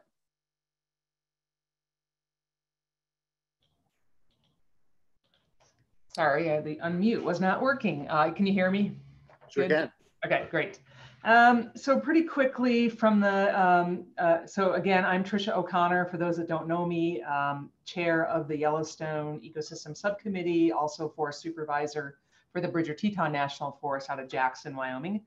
Um, so updates for yes, due to COVID, we did also have to opt to have a virtual meeting back in April. Um, I think we were one of the first ones to put our toes in the water on it and really weren't sure how it would go. But I believe in the end it was pretty successful. We focused on really just information sharing. Um, and uh, one of the feedback, we had quite a bit of public engagement or at least listening in on it. Uh, at times, I think David, upwards of 100 people were kind of following us and listening. And I think what I would just say as a learning from it um, you know, definitely the, the downside was the lack of us being able to do engagement, but the plus side was we got comments from people who have never been able to attend our meetings because of travel. So, you know, something to think about in the future of how we engage broader audiences. Um, due to the nature of that, we weren't able to um, dive into the substantive work around uh, conflict reduction. As I reported in uh, the December IGBC meeting, that was our plan is we needed to fine tune our priorities and really focus on what is it we could do as next steps, where are our partners, do we get partners involved and what are some concrete things? And we just weren't able to do it. So we did opt to have a, we got a tech team that's gonna help us focus or, you know, do some work, pre-work before our fall meeting to help focus. And then I'm also very interested to see what IGBC, um, sort of what comes out of this meeting um, in terms of higher level issues that we might be able to let go of and we could focus on some uh, a smaller subset of that so looking forward to that and then the only other thing i would mention um, is that we also are working on the conservation strategy edits uh, updates that are focused on developed sites and allowing flexibility within the footprints that are already non-core, uh, non-secure habitat uh, to, to, because of the increasing demand in recreation. So we're still working on that. Hope to get that out to the public sometime uh, in the near future. And then we did have the, um, not sure the process of this, but we do have our charter. I'm going to turn it over to Tim Woolley we have our charter ready to be approved. Yes has approved it for your consideration and uh, it's just ready for that. So Tim, I guess take it away. Got it. Really the last part of that charter, as you remember in December, I kind of presented the key points of the yes charter um, was to get with Chris Smith and he was kind enough to look through, made some very simple edits when you get into the subcommittee section, adding a sentence that the yes committee would retain their charter. And then what I did is I appended to the appendix um, in its entirety. And so I think with that little bit of language, that would give the opportunity of other subcommittees doing the same, because those were some of the discussions we had. And um, put the charter in the in the uh, appendix. And really, the key things with the yes um, charter is is really defining voting, and that was something that back at Chico Hot Springs when the Yes Committee got together and had shifted to the to the um, uh, YGCC, they had had to develop their own charter. So we made sure we maintained those specifics so that that would uh, meet what they wanted to do. So really, that's all it is. I sent it out and no changes to IGBC. It was just a matter of how to fit the two together, and I think it's ready to go.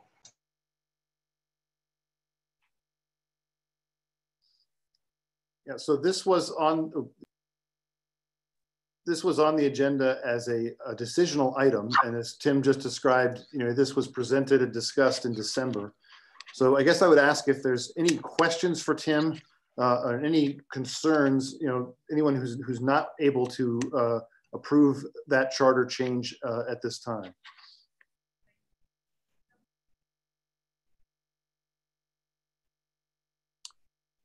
Okay.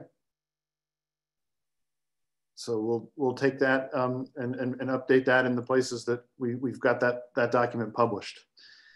And that completes the updates. Uh, thanks to all for sharing. What I think this accomplished is it just shows the, you know, this is a group of, of equals. Everyone has got major programs um, and investments and, and responsibilities to the public. Um, and you know, we're dealing with similar but, but, but slightly different things based on our geographies. Um, and so this is an important forum to come together and, and, look for those commonalities. So we have um, about a third of the time that we had planned for now remaining before our break, which we are going to hold at 2.45 regardless. So 2.45, we're taking that break.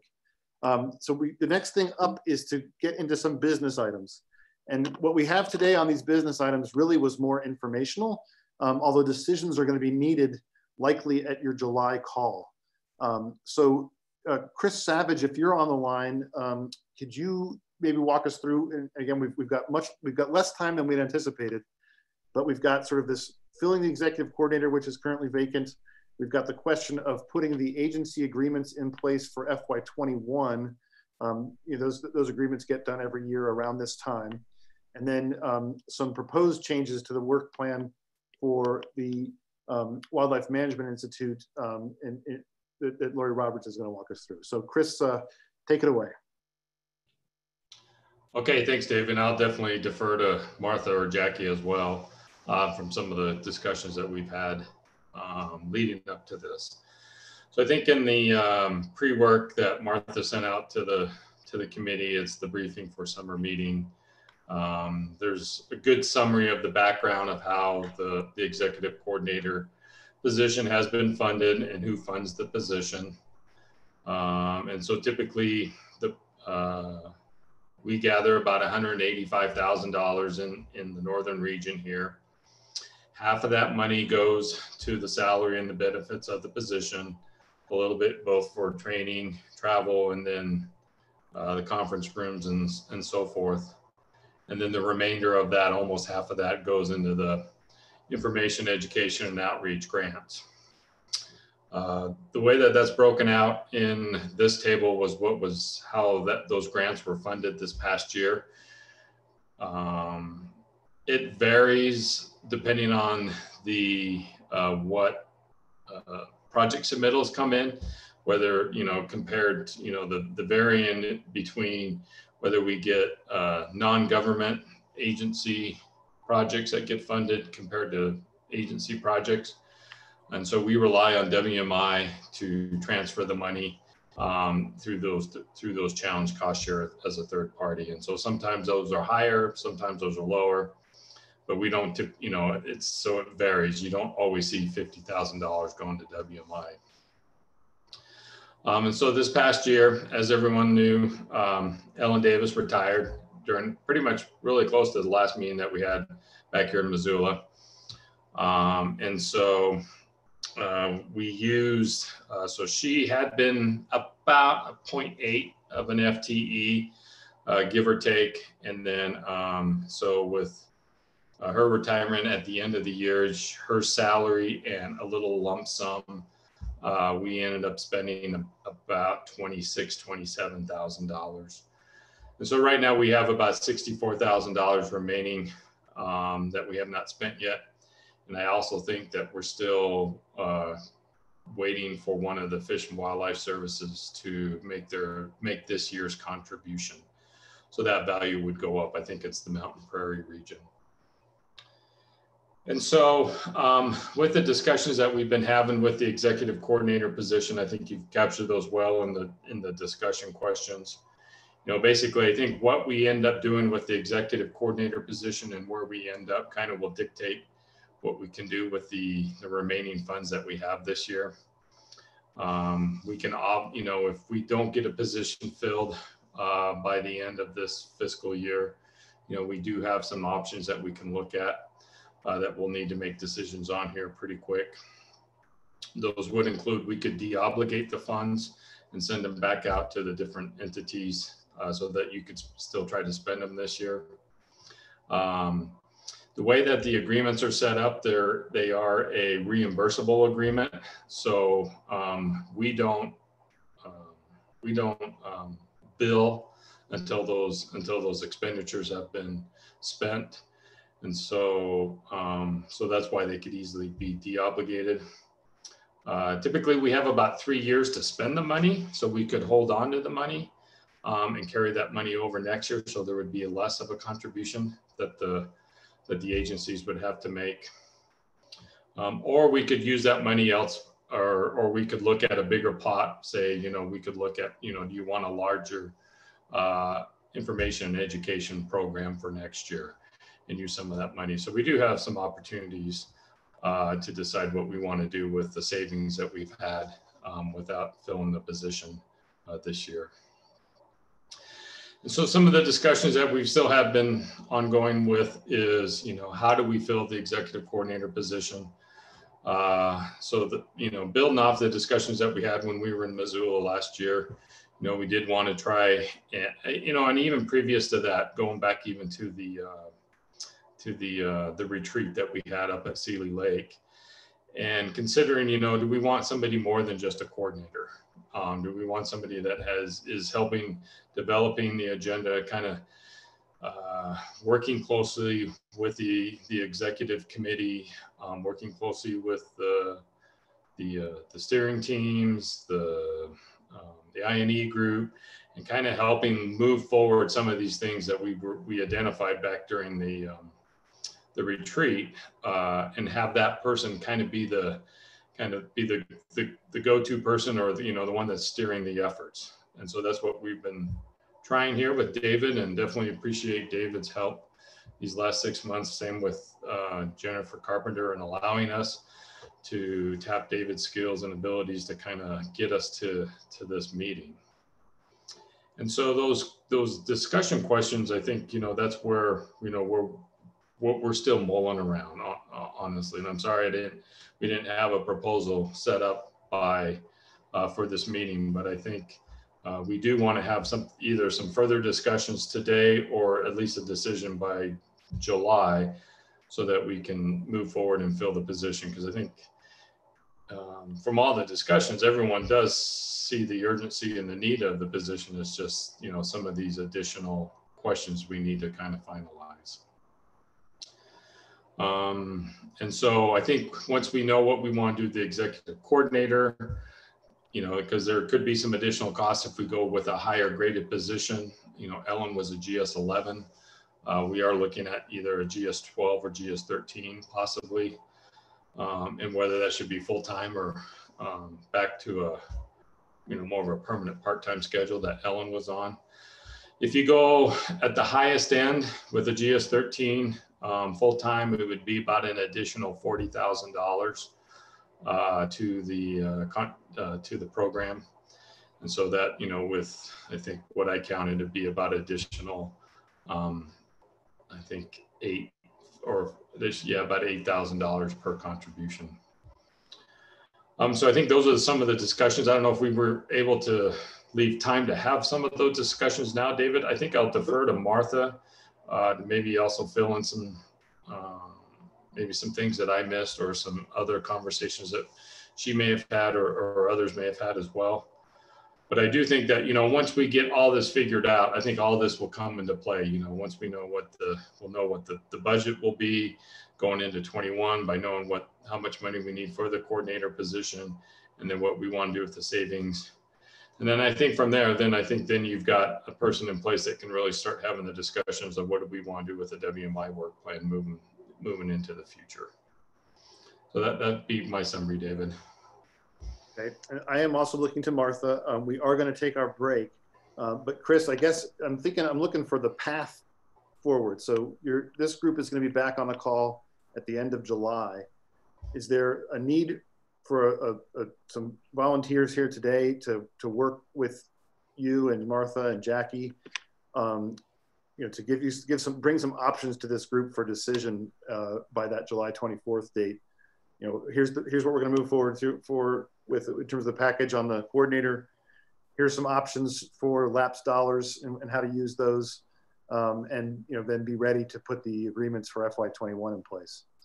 So David, um, what I'm wondering um, to tee up what those next steps and options would be, and maybe we I throw this out there and then everyone takes a break. It seems to me the decision on the executive coordinator is different um, or is the precursor to the fiscal year 21 budget. And so I'm, I'm wondering just to throw out there, would is there an appetite to um, actually make a decision on um, where we want to house the executive coordinator uh, what that might look like today so that that small a smaller committee of people could present the options um, for the budget at the next meeting for us to take action on. Because it seems to me where we're going with the executive coordinator is a critical piece to be able to build that budget it's something you're going to need to know first so i think um, take a break but when we get back whether people have the appetite or desire to um, to make a decision on where the executive coordinator will be housed and what that position would look like and I don't want to push everyone, but if we could do that, I think it would be nice to get it um, moving and off our plate so we can then fo focus on the budget. Okay, so we'll try to do that on the other side of the break. Um, Lori, um, what I'm thinking is that your IEO recommendations on criteria, we, will we'll push those into your update. Is that okay? Um, so, we'll, so we'll circle back to the slides that you had prepared on the on the proposals to shift um, some dollars to, from printing materials to some other other IEO activities. That can be part of your your update, and so that means we are on a break, uh, and we will return at three o'clock on the dot. So. Um, thanks everyone. You can uh, just leave, you can stay signed into the Zoom and just mute your camera and your um, uh, your, your video and your audio. And that way you can just pick it back up at, when, we, when we start again.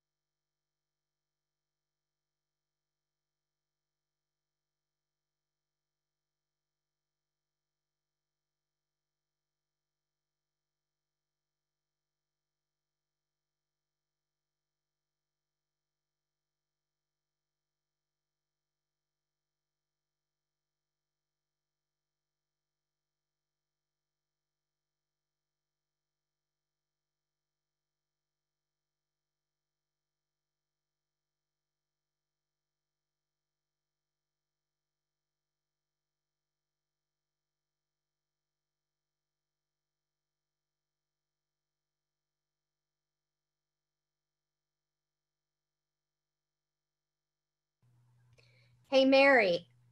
Hey, Jackie, can you hear me? We, I can hear you loud and clear. So Alrighty. you're on. Yeah, so I can't see my video at all. Oh, I can. Well, you, I can see you. Well, that's I nice. can see your head. Yeah, so I can't. So that oh, uh, hey, there's you. Yes, but I, can can't see see your- me, so I can't even. I can see your knee right now. I can see your your Oh. scar. Mary. That's gross. Whoa, back away from the scar. Come on, Mary. Hey, I'm trying to. I'm trying to figure out how to do this here. I'm helping. I'm coaching from afar. Okay, so now what can you see?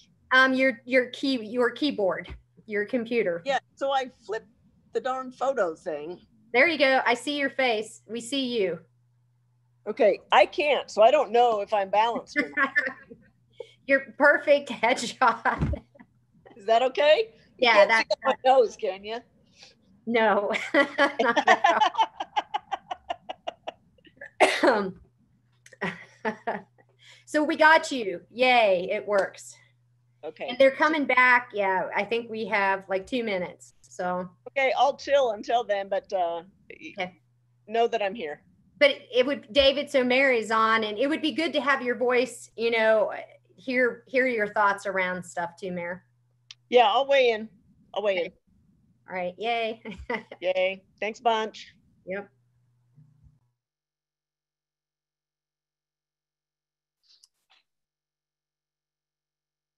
Danielle, I think you were on just before the break, but we have a, a- we're, we're not going to start right in with your summit report. We've got a couple of things to finish from the last business item topic, okay? Okay.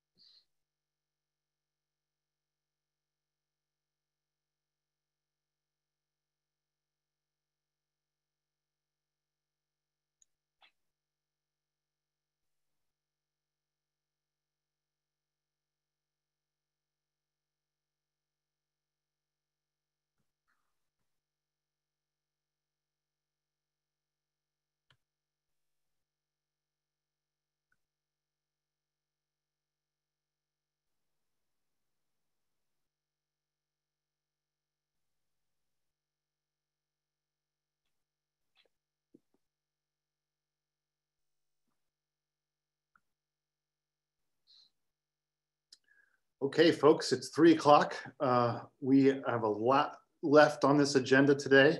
Um, some really uh, important reports from um, the information education outreach and conflict reduction and from other things as well. So I, uh, I see cameras still turned off. Um, if we're going to jump right back into this and as we, where we were at the break uh, was we were recognizing that we have some significant uh, business items to attend to um, but not necessarily some uh, executable options on the table here for the executives. So maybe I'll ask Martha, um, if you've got a thought, you- had sort of put the question on the table, could the group decide today on the coordinator options? And then that, and then have a small group come forward with a plan for, or, or some options for resulting FY21 budgets. Um, I get, is, is that, is that a good summary of your proposal? I don't see you that- back yet. That's a good summary, and I realize that's um, a little bit out of the blue, but I um, so I'd like to hear from others. It was it's it's a um, honest question. It- does anyone have concerns with that proposal?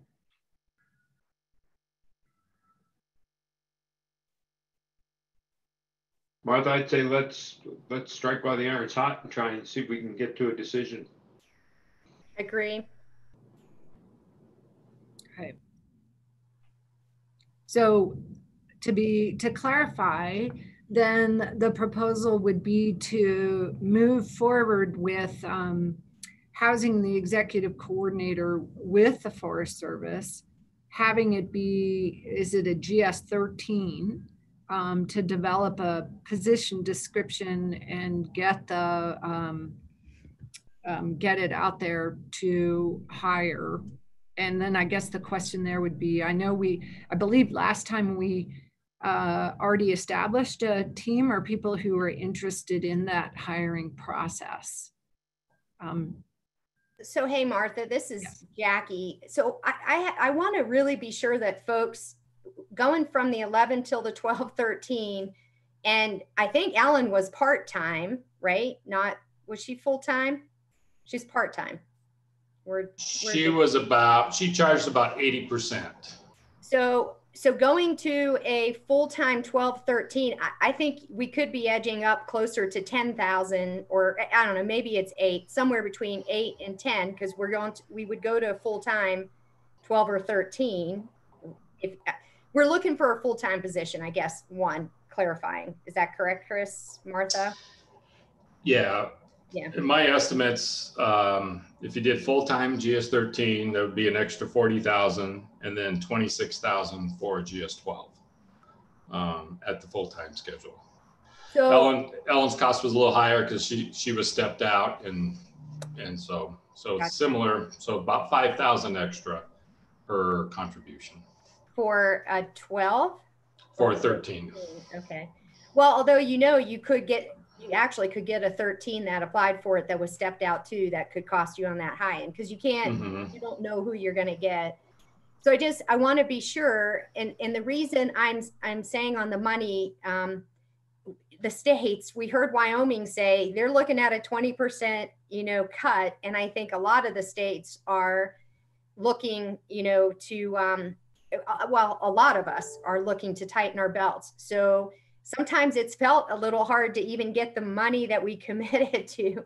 So really want to be sure that folks, if we agree to this, that it's agreeing to that understanding of it is more money um, that that will be expected. So that's a change, uh, or that's just one thing to clarify. So it's, you know, our with the with the 11 to the 12 or 13 um, for sure. Uh, just I don't know, Martha, that it didn't feel like we asked that mm. question clear enough or we got consensus from everybody because that's a big thing to move forward to. That's a long term commitment. Um, and we all know that we're struggling a bit with money. So, and this is Mike Philbin. This seems a little backwards to me. Yeah. It seems like we should be identifying the duties 1st mm-hmm. and then identifying what type of employee we need to carry out those duties. So, this is Jennifer. Um, I believe we had. Uh, this discussion or similar discussion at the December meeting, wanting to understand whether we wanted to increase the, the scope of duties beyond um, what Ellen did uh, to, you know, encompass maybe more of, um, you know, information and ed education outreach as part of the job description. And then I shared a, a PD with a couple of folks from the GYCC coordinator position that David Diamond is in um, to sort of use that as a just a, an example um, of a multi-agency coordinator position that is a gs13 but i totally agree um, that i feel like we we need to define the scope of the duties before yeah. we go forward and say it's going to be this grade or that grade so martha uh, this is mary farnsworth and i've been struggling to get on can you hear me okay Yes. yes. Loud and clear, Mary. Okay. So, so, apologize for the technical difficulties there. It took me a while to figure it out. Um, so I, am supportive of filling the position, but I'm very concerned about the grade uh, for all the reasons that Jackie and, and others have spoken about. And as I see uh, the states having some budget challenges and talking about furloughing employees and all these sorts of things. And uh, I also agree with defining the duties and defining them to be what we can afford um, and that back and forth dialogue. So from my perspective, it might be a little bit of a rush to decide today, um, but I'm very concerned about just saying, oh yeah, let's make it a 13. Uh, I think Region 4 would have uh, a challenge ponying up any extra cash. We're challenged right now.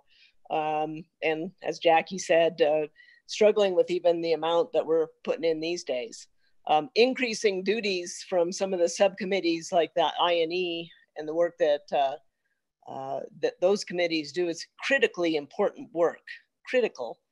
But I'm not sure we need a coordinator to coordinate that more than we're coordinating it now. Um, I'm not sure we can afford it. And so I think we need to put our uh, not so rose colored glasses on from our financial perspective and really dial up the duties that are really necessary this year as we go through this challenging time. End of report.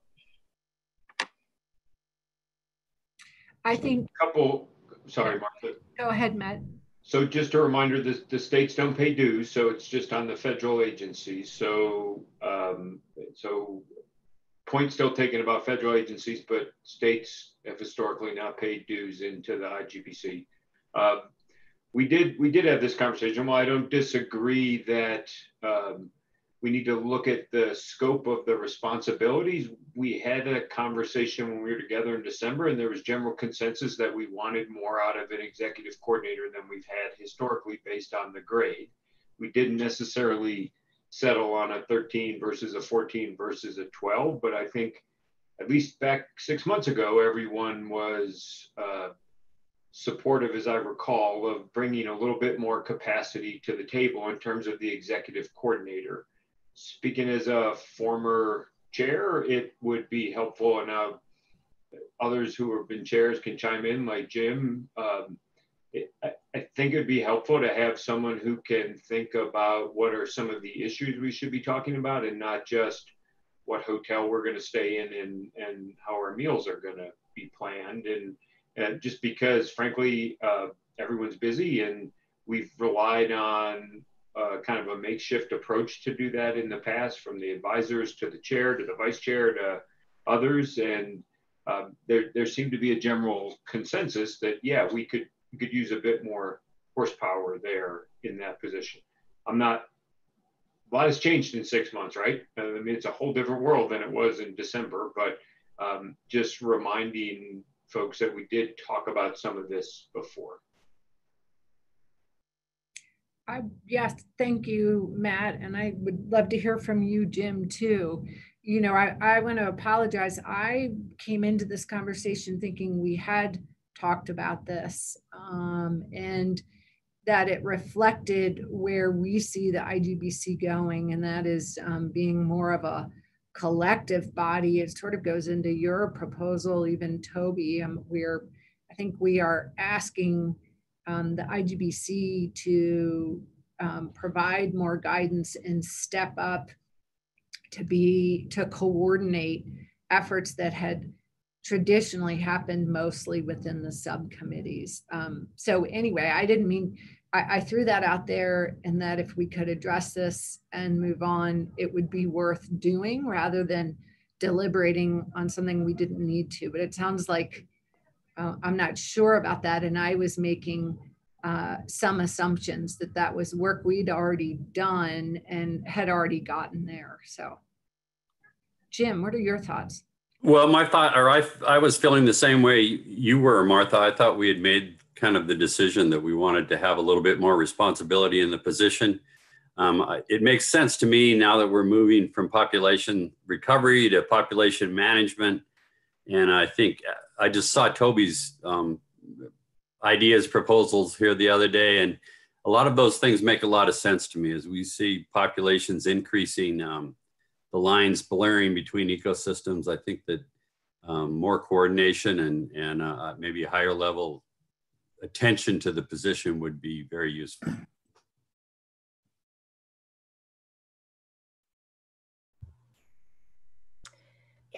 and I totally support it. Just the money thing, and I apologize because I missed that meeting. I was in DC for the winter, but I just want to be clear on the money. It, it, you know, if folks agree to it, then you know we agree, but that comes with that expectation of the additional money. So that's my.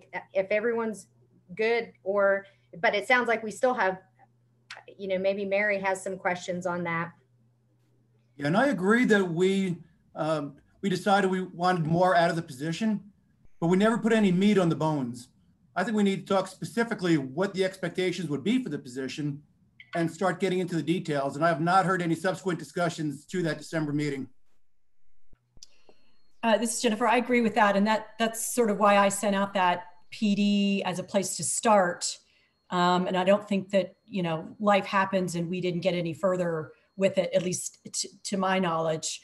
Um, but looking at a broader scope of activities that the coordinator could do at a little bit higher grade uh, was, you know, I agree with you, Martha, that's where we ended up, but I don't know if we decided on exactly what that looked like specifically.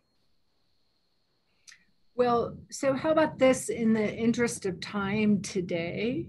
Um, are there those who want to um, be on a committee to bring forward a proposal, a, a position description, and ex, an explanation of the duties, and um, and a proposal that we could act on on at the July meeting. Say, get it to everybody the beginning of July, and um, and we have something before us for our July meeting. I, I really worry about waiting much past that.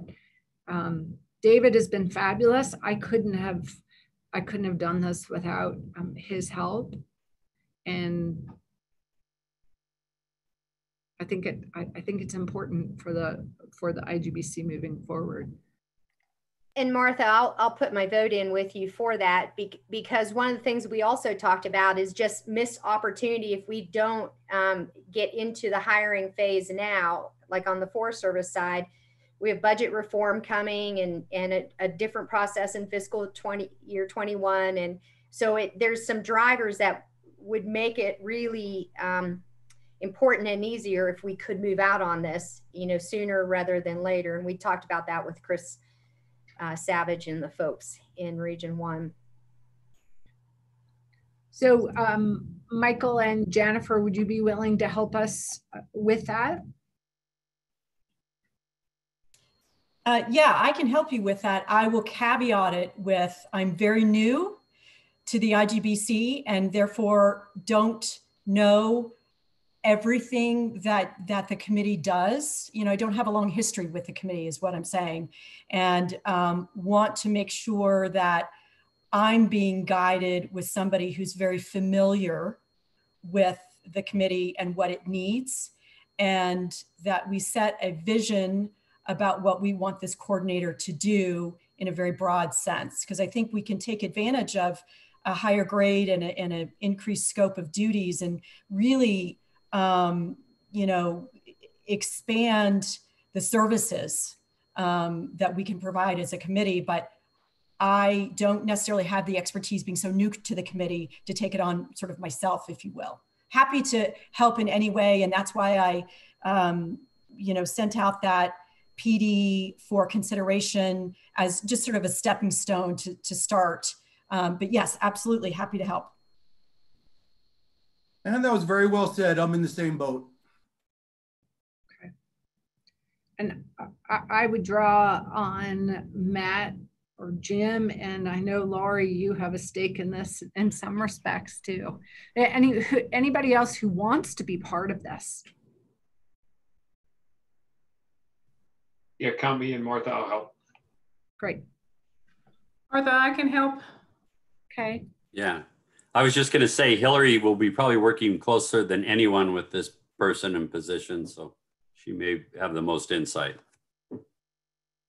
And I'd say, Martha, this is Scott. I, as the former supervisor of that position, I guess from the Forest Service, if it's going to be a Forest Service position, but you know, I did supervise that for 10 years, and I, you know, from a background perspective, I'd be glad to to help with that too. Well, and you still might be supervising it, or Chris Savage, but yeah, there's definitely important for the Forest Service for one of you guys. Okay. So to be clear, um, it sounded like Jim, Matt, Mike, uh, Jennifer, Hillary, Scott. Am I, do I have everyone? I'm, you know, I'm interested in helping and Jackie. Yeah, I was gonna say, count me in for sure. I'd, I'd be happy. Yeah. And we'll have a, let's have a follow-up call and we can go through the duties and um, work through a proposal for the, actually get information to everyone in June, in early July and, and have a proposal for the July meeting. and Chris, I'm sure we'll be working with you as well. Yeah, definitely. I got those names too. Now I'll put together the information I've collected today on the duties, differences between the PDs that I found, the one that Jennifer sent out, so you can kind of get a sense of what the responsibilities are between the different grades. Great. So I think in some respects we're largely there. Just um, we need to, as as others have said, put the cart before the horse. No, put the horse before the cart.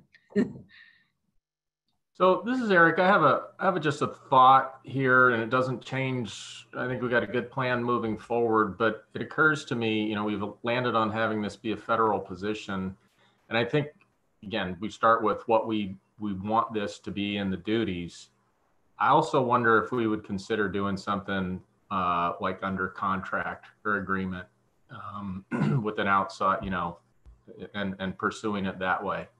Um, I'm part of a federal caucus over here that deals with salmon and steelhead uh, issues in the Columbia Basin, and that's how it's dealt with.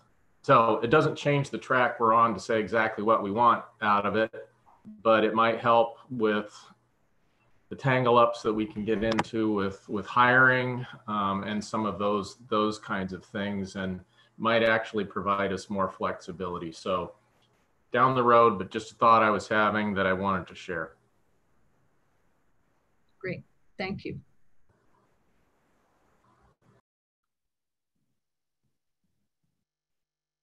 Okay, so Martha, it sounds like you've got an action item, you've got your group identified. Um, Chris, anything else that you need directionally on those other topics related to the getting the agreements in place and uh, no, I think we can, maybe what we'll do too is part of the committee can kind of make a recommendation on what to do with the savings. Got it. So that's, that was the other big one was the savings. So you've got, you're going to put executable options in front of this committee um, for consideration in July on you know, the, the, full costs and benefits of doing this in different ways.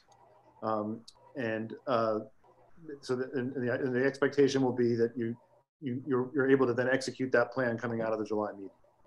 Yep. And in December, we talked about a potential detailer. Is that still on the table?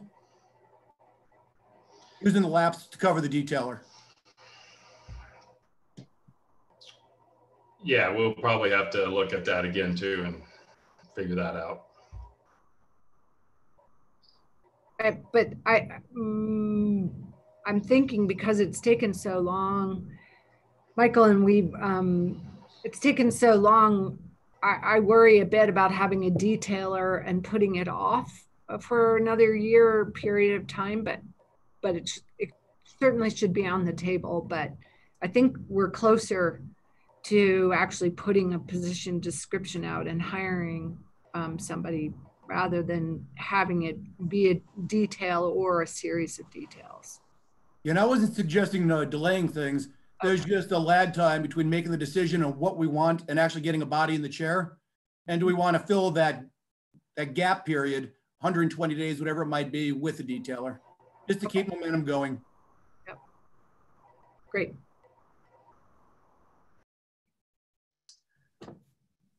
Okay, so that um, with that, and so Lori, we'll come back to your proposed changes um, for the IEO budget in 21 when we get to your IEO update. We will now shift to the 3 p.m. item on our agenda, uh, the IEO update um, from the summit. So I'll introduce uh, Danielle Euler from the Montana Bear Education Working Group. She chairs the Yellowstone Ecosystem Subcommittee's IEO group. Um, uh, and Danielle, can you see your slides? Yes. Oops. Yes. there we go. So just tell me when you are ready for, to advance as we go through this. Yeah, you can actually just start right there. So, um, so I'm going to talk to you guys a little bit about the Grizzly Bear Information and Outreach Summit that was held at the end of January um, this winter and kind of tell you what it was about and what our conclusions were from the summit and just to give you kind of some background and then we'll talk about the recommendations. Go ahead. So myself and Sarah Silty working for Montana Bear Education Working Group um, helped Montana Fish, Wildlife and Parks put together um, and execute this summit where we brought together folks from across, initially it was planned to be Montana, but we ended up having attendees from Idaho, Wyoming, and Washington as well, uh, come to talk about what everyone was doing for bear information education and outreach across that, our region and beyond.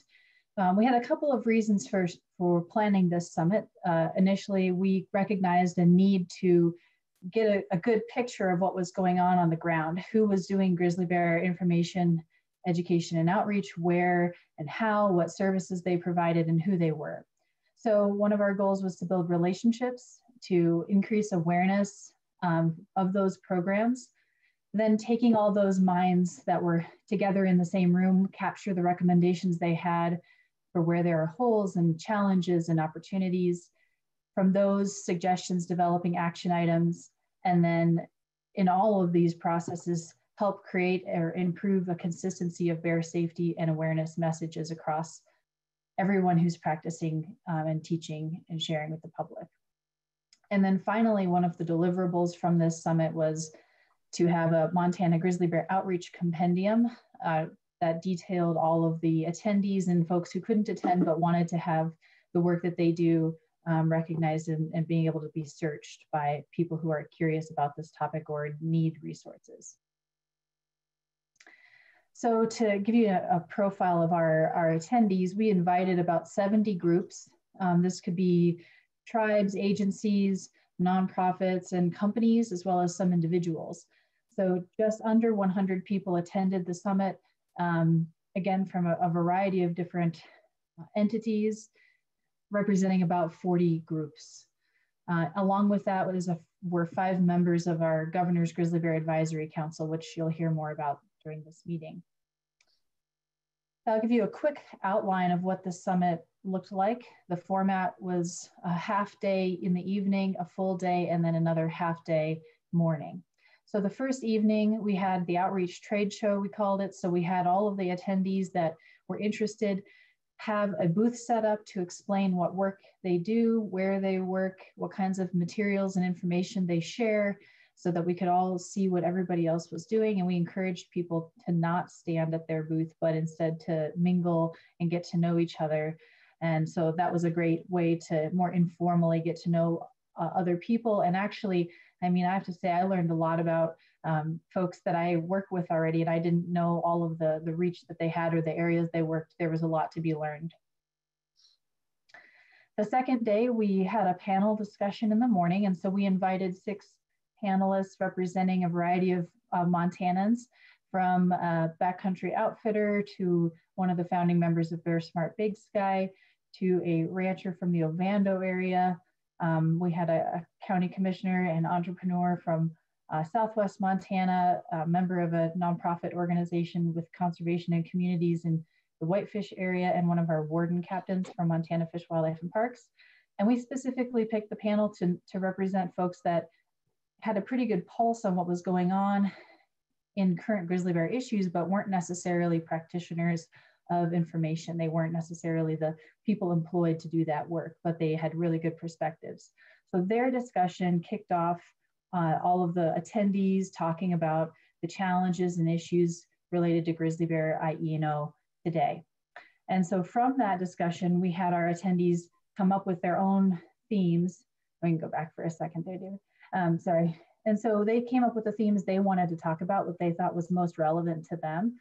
And then they self-selected into those groups. And in the, the first round of breakout sessions, we had our attendees identify um, the biggest challenges related to that topic. And then from there, we had them visualize the, the best case scenario without any uh, constraints. And then the next day, we can switch it, we had them imagine what they would need, what tools and resources and um, and and ideas they would need to get from point A to point B, from the challenges to the solution. Um, and so from there, we took the very best of those ideas and asked them to to produce those, and then harvested that information, which is what I have as a summary here. Now, before I go any further, all of these recommendations and information about the summit is available. Montana Fish, Wildlife and Parks website for the Grizzly Bear Advisory Council has a link to our report. Um, so that's just where we ended up being able to host the document online. So if you would like to read this in more depth, that's where it's available. So the first group was the, the messages group, just to, to show you what they came up with. I'm only going to talk about the recommendations, not all the points they talked about, because I want to just keep this um, succinct. So the group that talked about bear safety messages wrote out a recommendation of having a clearinghouse for bear safety messages because they they decided that there wasn't just one good place that everybody could go to find the information they need to know what's the most accurate and up to date and correct way to explain how to prevent bear encounters, what to do with bear encounters and attractants and all of that. The second recommendation was to make signage consistent and available. Uh, it could be ads, brochures, and marketing. And this recommendation, I don't believe was specific to one group or organization. It was just recognizing a need to have those messages um, correct in, in the outreach materials that, that groups were promoting. The next is audiences. So we had a group talking about the audiences that we're trying to, to get this information out to. Um, they, they recognized a variety of different audiences and talked about having messages that were appropriate for each audience. They talked about reconnecting to familiar audiences in new ways, as well as identifying and connecting with new audiences, and how important it was to communicate with communities in newly occupied grizzly bear areas. We had another group on efficacy, data, and science. And this group, instead of making recommendations, they identified three questions that they had, questions they would like answered to better understand what's going on for IENO. The questions were, what are the most and best effective tools for getting information out to the public, specifically to audience and messages? What is the current state of effect and effectiveness of grizzly bear information and outreach? And which human behaviors and strategies have the highest success in reducing conflict? The next group was partnerships. In fact, we had a lot of interest in this partnerships category. We had two subgroups that, that all talked on this topic. So the recommendation that was, I guess, that we highlighted from, from these groups was that um, that folks from, from some of these groups thought that it was important to let the agencies know, communicate about the role of agriculture and bear conservation to our agencies. So that was the highlighted point they had. And then the rest of these points had to do with engaging and taking opportunities for relationships with different infrastructure um, companies, um, community members and HOAs and tribes and tourism departments and just different ways to, to connect with uh, those audiences and, and build partnerships. And we had another group on tools and delivery of bear safety messages. So they had several recommendations. One was to have ready-made materials, language resources, and that meaning like they know how to say what they need to say about bear safety, as well as um, brochures and materials. So these are these are materials that they could just reach for. Um, they didn't say who should do this, but they just said they would like to have a place they could go to get the materials they need and customize them for their use, but know that the, the messages are accurate. They also recommended developing, oh, go back there, yeah. They de recommended developing a train the trainer program for various audiences. So it could be tailored to the audience you were speaking with, it could be um, like at sporting goods stores, um, youth camps, conservation corps, just any groups that may need specific bear safety information because of the kinds of work they do. And then the last recommendation was to designate and make accessible proven conflict reduction tools. So with the caveat that they had to be known to be effective. And then the food storage and regulations group was another, another subtopic. Um, they made the point that for them, the more consistent bear safety, or I'm sorry, the more consistent that regulations are, food storage orders are across the areas they serve, the easier it is for them to, um, to uh, enforce those those regulations and then that there will always be challenges but that consistency would be helpful and then they also talked about uh, how important it is to help commu engage communities in helping create accountability for food storage.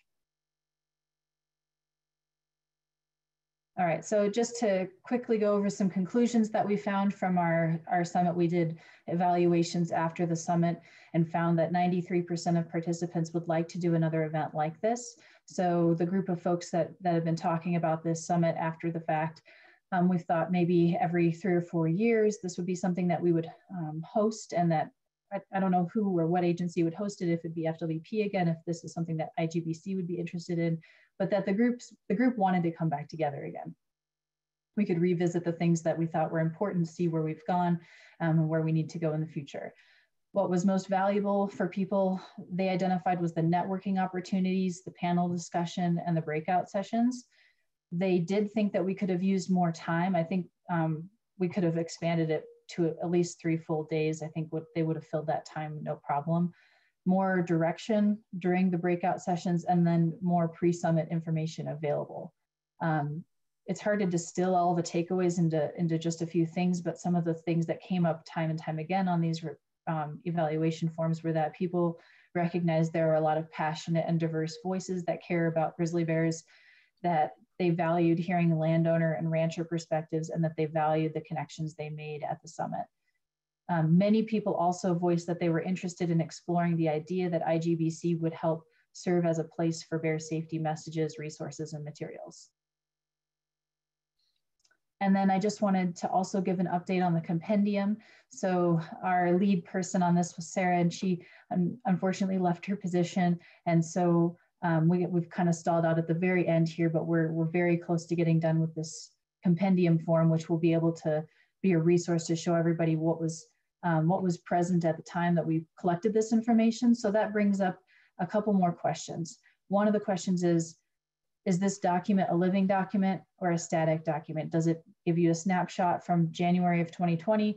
Or do we want to continue to update this over time and have this be a resource that, that the public can access and understand who's doing what, what work where? This is just an important question. And the other question is, where would it be hosted? So who would who would take care of this document, who would make it available. So those are the things, Lori will talk more about those, but that's a start. And I can take any questions.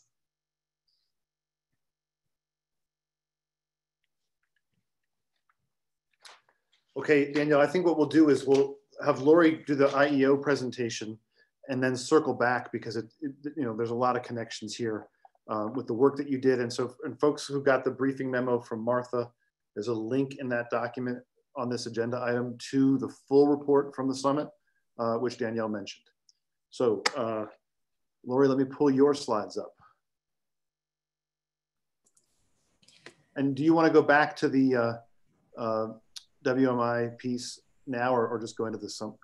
We can just continue. It's fine to go into the summit report, I think.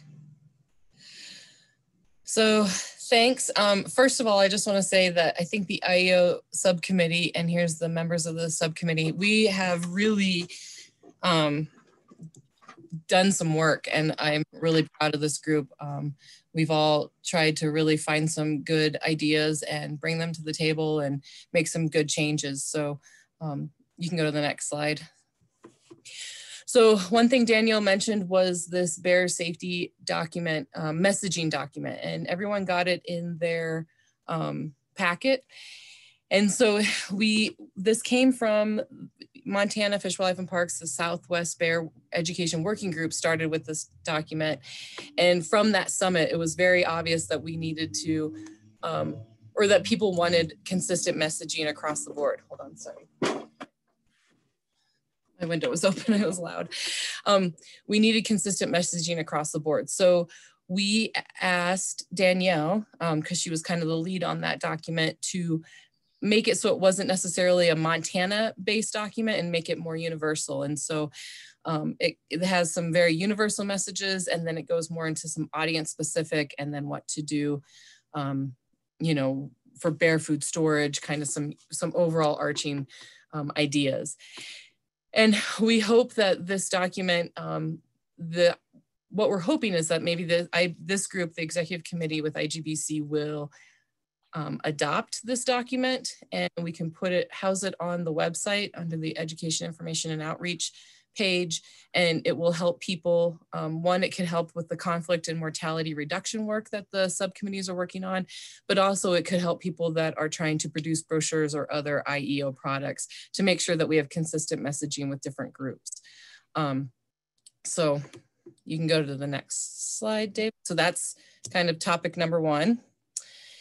And then along those lines, um, an ask, a question we're asking the executive committee is, I have been really shocked stepping into this chair position. This is my first meeting being the chair of the request to use the IGBC logo. Um, we, people are putting together mailers, um, they're putting together brochures, and they're more and more they're using the IGBC website as a place for people to go for information. But then they're also asking, um, they're asking two questions. They're asking one, to use the logo, and two, if we could put their brochure on our website so that's where people could um, get it.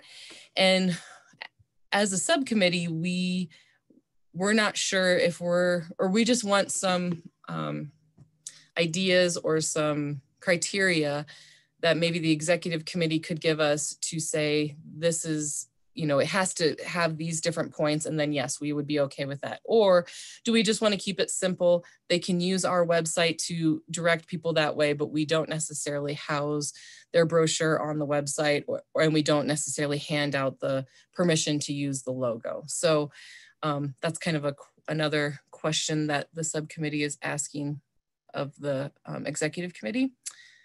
You can go to the next slide.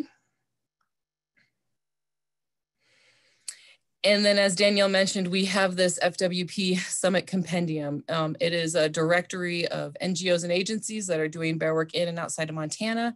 As Danielle said, we're not sure if it's a snapshot in time or a living document.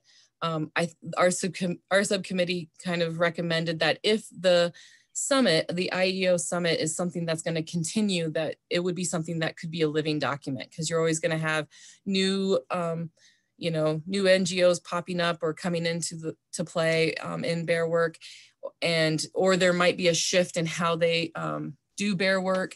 And so how it's designed is it has the table of contents kind of gives a geographic area of where each of those NGOs or agencies do work. And then it also gives a service. So do they um, help out with electric fencing? Do they help out with actual funding? You know, are they, do they respond to residents to help with different things?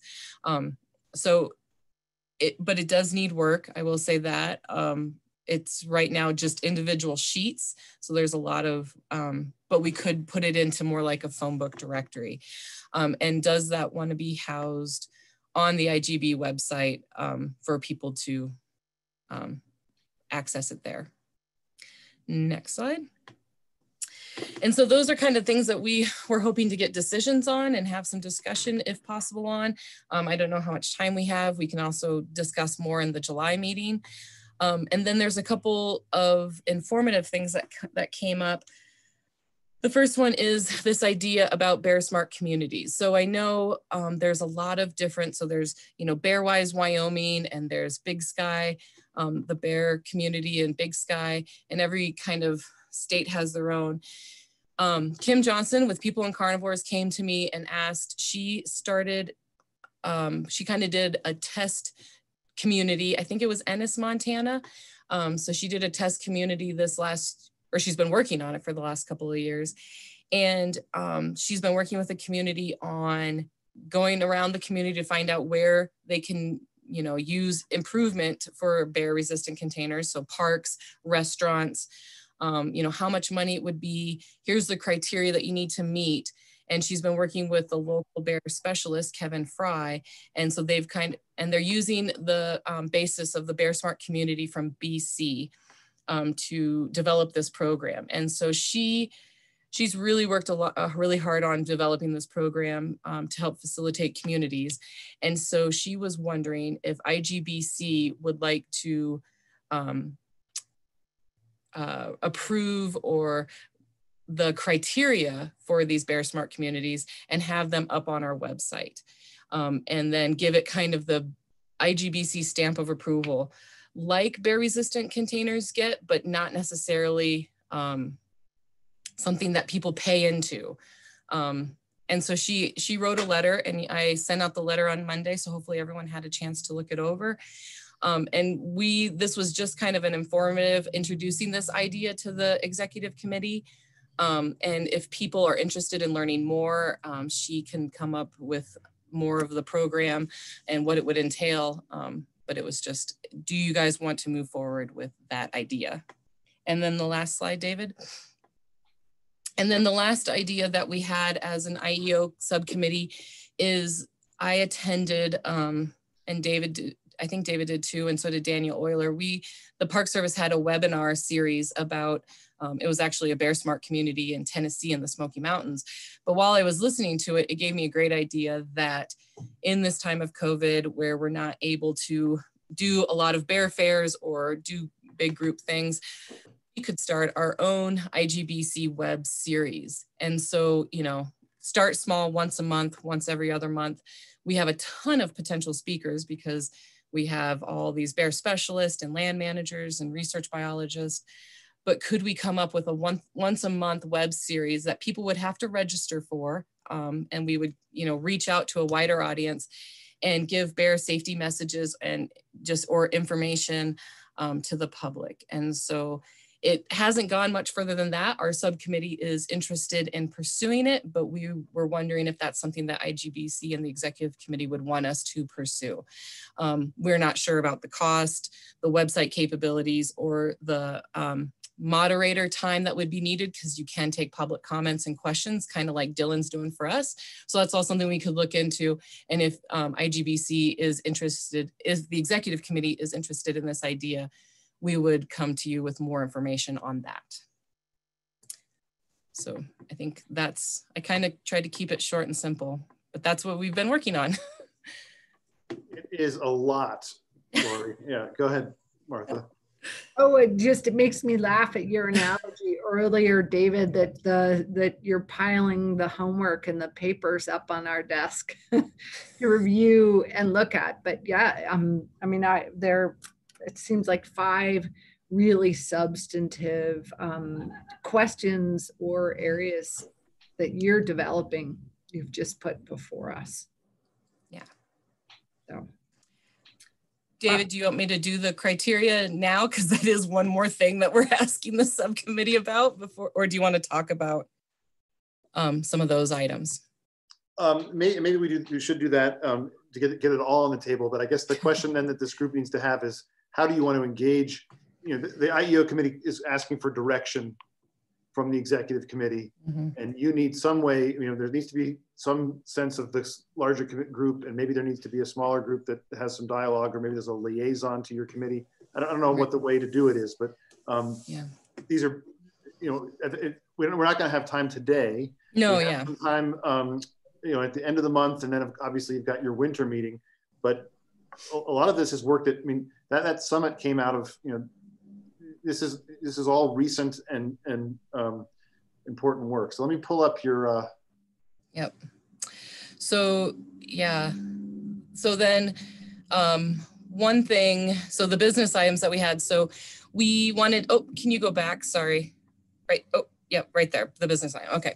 So um, one thing that I've just you know, I just stepped in this chair position, but one thing like that I have never noticed is we've never actually presented like, here's the work that we're going to give to WMI. And so um, we, this is going to be their next round of work. One is um, there's we're still going to support the bear resistant container program. And Scott, I think is going to talk about that later. Um, and then they're going to support the implementation of IEO strategies um, we are, we do have money. We are contracting out some work for the website to, for it to get upgraded, um, which is gonna be huge because that'll make it a lot more easier to navigate. Um, and then we, they will also administer some of the IEO project funds that we award in December. Next item. So one thing that we I, I started doing and the group helped me was we looked at some of the old criteria for that funding, for those grant funding. And so it was really, um, I felt like it was kind of limiting in the projects that could be um, put forth. So the projects, the very first criteria said that it needed to be information and education specific. Um, if you hit next one, David. So we um, wanted to come up with some new criteria to open up the projects to more infrastructure or um, actual preventative projects. And so we came up with this new list of criteria. Um, we wanted it, we, you know, we said it could be nonprofit and all the agencies. It must be consistent with the mission statement of IGBC and the roles and responsibility of the IEO subcommittee.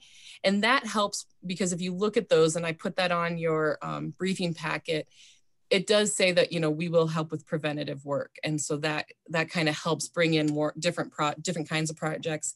And then at least you have to be at least based out of one ecosystem. Next slide david.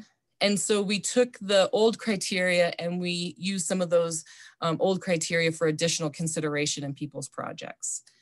Um, next slide and so our main goal for doing this was to add those opportunities for preventative or infrastructure like on the ground. So food storage boxes, um, electric fences, contracting groups to help install some of these things because it takes a lot not only to purchase the you know boxes and electric fences but then also installing some of this and so we thought that this might help um, changing some of that criteria might help um, get more of those goals uh, or those projects out there.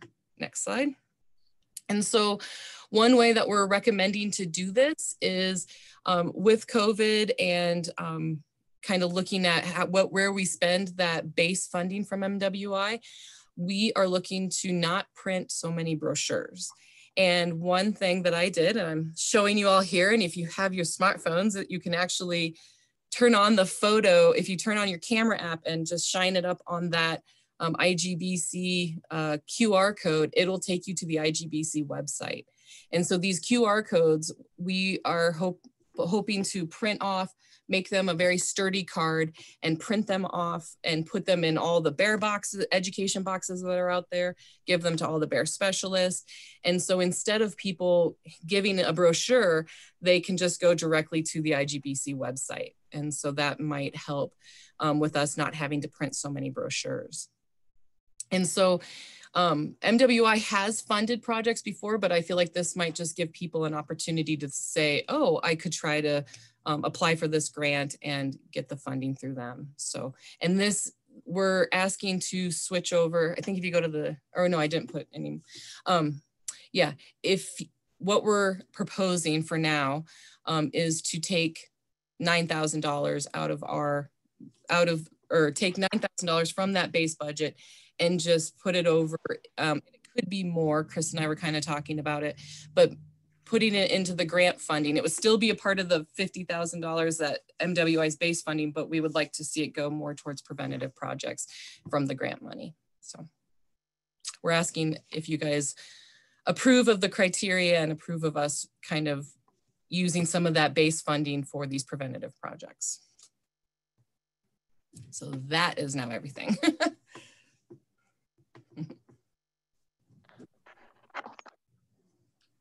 and so that that's a direct that that piece was a direct uh, product of the discussion last summer.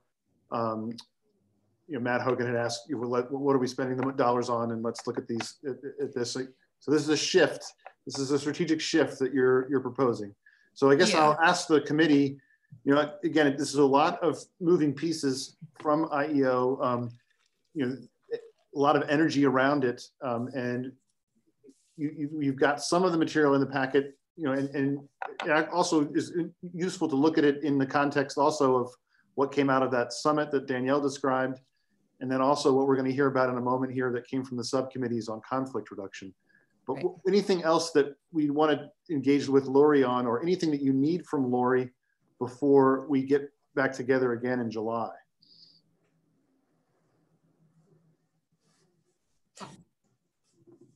I have a million questions. know that we can't get into now.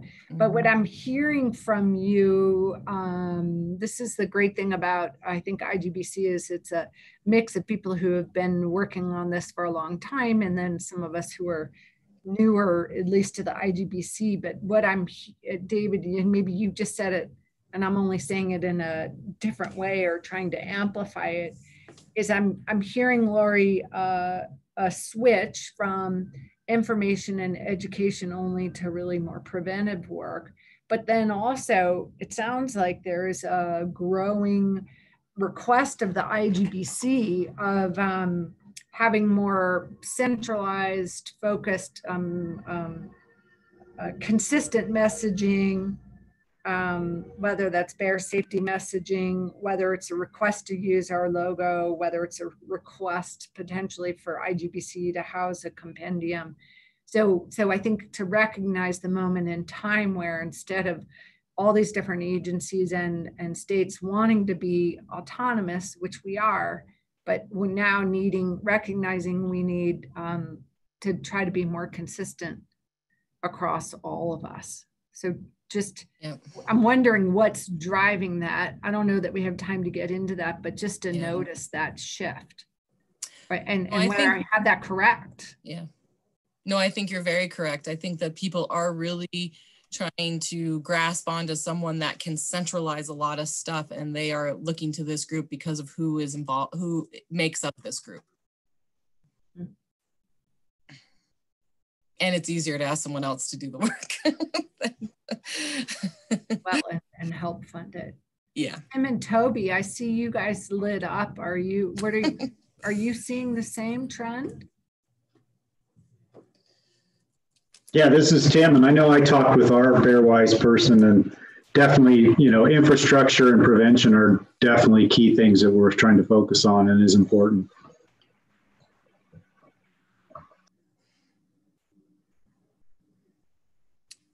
And we redid, you know, we redid some of the, um, you know, we not only did redid the the criteria, but we also redid the score sheet that um, they're the committees are all how they're scoring this. Um, some of them use it as a guideline, some of them use it as an actual definite. This is who gets the project, but um, so yeah, if people just want to make comments on that stuff and get it back to me, or I don't know if we want to wait and vote in July, because that would be fine for the projects and the criteria change. Um, Is there an item, Lori, are any of these items time and Danielle time sensitive that you need a vote today or can they all be something that we get specific proposals to respond to in July? Yeah, um, no, we can, I mean, we can get more specific proposals to respond to in July, I think the two would definitely be the messaging because that's going to be um, the the messaging. You know, in the compendium, I you know I don't know if it needs to be a July thing or if it can wait till the winter, especially because it's not um, organized very uh, just uh, well right now. Um, and people haven't really been asked. I don't know if Danielle's gotten people asking about it, but right now I haven't really necessarily had people asking about it. Um, but I do think the bear messaging and then the criteria, if you guys are okay with approving that criteria change and using some of the base MWI dollars um, for projects instead of um, supplies or, or wherever the, the money was. And, and Lori, I just turned on to just make a comment and add to what you were saying about the the changing for the criteria. I just want to emphasize that we're not saying the funding shift is going to go from I&E to preventative. It's just expanding the circle of what we consider. Mm-hmm. Um, yeah, and then the other thing I wanted to say is even though we're not printing brochures this year beyond what we already had in the stockpile, the coloring book and bear spray brochures are in printable format on the IGBC website for anyone to download for free at this point. Mm-hmm. And we'd like to continue to expand that opportunity in the future for a way for the public to get it. Cause we, it, yep. yeah, it's the distribution network is challenging sometimes. It is challenging. And we are, you know, we still do have some money that could be for short runs um, or people can apply for the, for a grant to say, I would love you know a bunch of printed of these printed coloring books and this is how much money in printed coloring books so um, so to clarify the requests before mm-hmm. us um, the at least the bear smart community the criteria it's not to vote on that today it's to direct you to bring whether we want you to bring that to us in july in a format that we can discuss and potentially vote on it? Is it something that we're interested in taking up? Yep, the, the yeah, so the two things, yeah, that's a good point. The two requests are for the information ones, do you want to hear more about the Bear Smart communities? Would IGBC, you know, want to have that as something that they are, you know, they have their stamp of approval on? Um, and then, you know, would you guys want to get more information on us housing a webinar? And then, yeah, that's more, those are more informative. Um, the things that we kind of want decisions and moving forward on are the the bear safe the bear messaging document. Can that be an igbc document on the web? The criteria and then what to do with these requests or you know should we come up with some kind of criteria or can the executive committee come up with a criteria for us using the logo and housing people's brochures on our website sort of a higher level strategic question. Yeah. so in the same way that IGBC is authoritative in certifying, you know, bear resistant containers, do you want to take on the role of also being authoritative when it comes to these bear messages, which right now, of course, exist in many places and everyone has different things, which is, you know, that was what Summit was able to highlight and, and collect in that compendium. So um, lots on the table here, and uh, uh, and, and, it's related. You know, the point that, that Danielle just made about um, I&E as a it's still I&E even if it has a preventative benefit um, uh, is going to come up, come back again here in the next presentation. So I guess anything else for Lori and Danielle right now, and we'll save some time and bring you back here um, once Hilary has put the subcommittee work on the table. So we'll shift then to um, Hilary Cooley, who's the uh, one of the IGBC advisors and the grizzly bear coordinator for the U.S. Fish and Wildlife Service, and she works with all of the subcommittees who have um, done work that was reported on in December on uh, conflict and, and uh, uh, conflict and mortality prevention. So Hilary, take it away. Okay, thanks, David. Yeah, I guess I just have to say, I'm pretty impressed with the subcommittee, the IEO subcommittee. It's great to, seems like I, um, IGBC is modernizing a bit and that was much needed. So nice job. Okay, David, we can go to the next slide. I guess I just brought all of the info together from the um, subcommittee reports and just wanted to remind people what this task was. And actually, there were three kind of subtasks in this that the IGBC asked each subcommittee to do. We're at the final stage now, although we don't have it today. This is what we hope to get towards next month. Um, so it'd be maybe a, a, a, little bit of delay from the final due date, but this is this is what we're getting at here, and I'm going to give you the um, where each subcommittee is right now.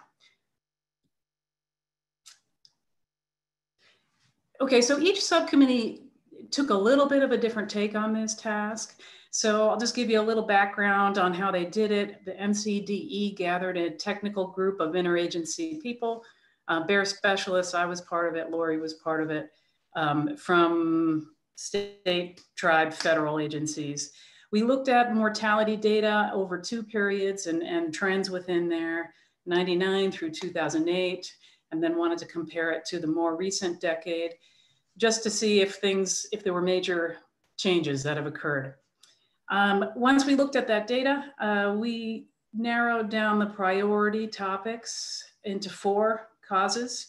Um, doesn't mean this is not necessarily the top sources of mortality, but these are the ones that we thought we could be most effective in addressing as a subcommittee. Shooting related, uh, railroad collisions, vehicle collisions, and site related conflict Next slide, David. So I, I, you know, this is just a real quick summary, and I put, um, I, I, that's exactly what it is. So the bullets, I won't go spend a whole lot of time going through each one of them, but once we uh, identified those top priority issues, we got together several times to discuss some recommendations on um, how to address and what needed to be addressed. So shooting related, there were a number of things in there. Um, some of them had to do with mistaken identity. So we recommended targeting I and E at black bear hunters.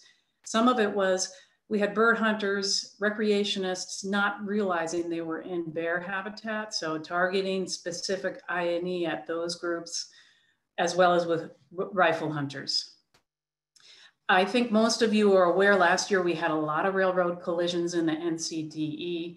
Um, and it's, we usually have a handful every year, maybe not a handful, but we, it's, it's, it's fairly common. And um, those things can be addressed. And so that was one of our recommendations to review the strategies to mitigate them.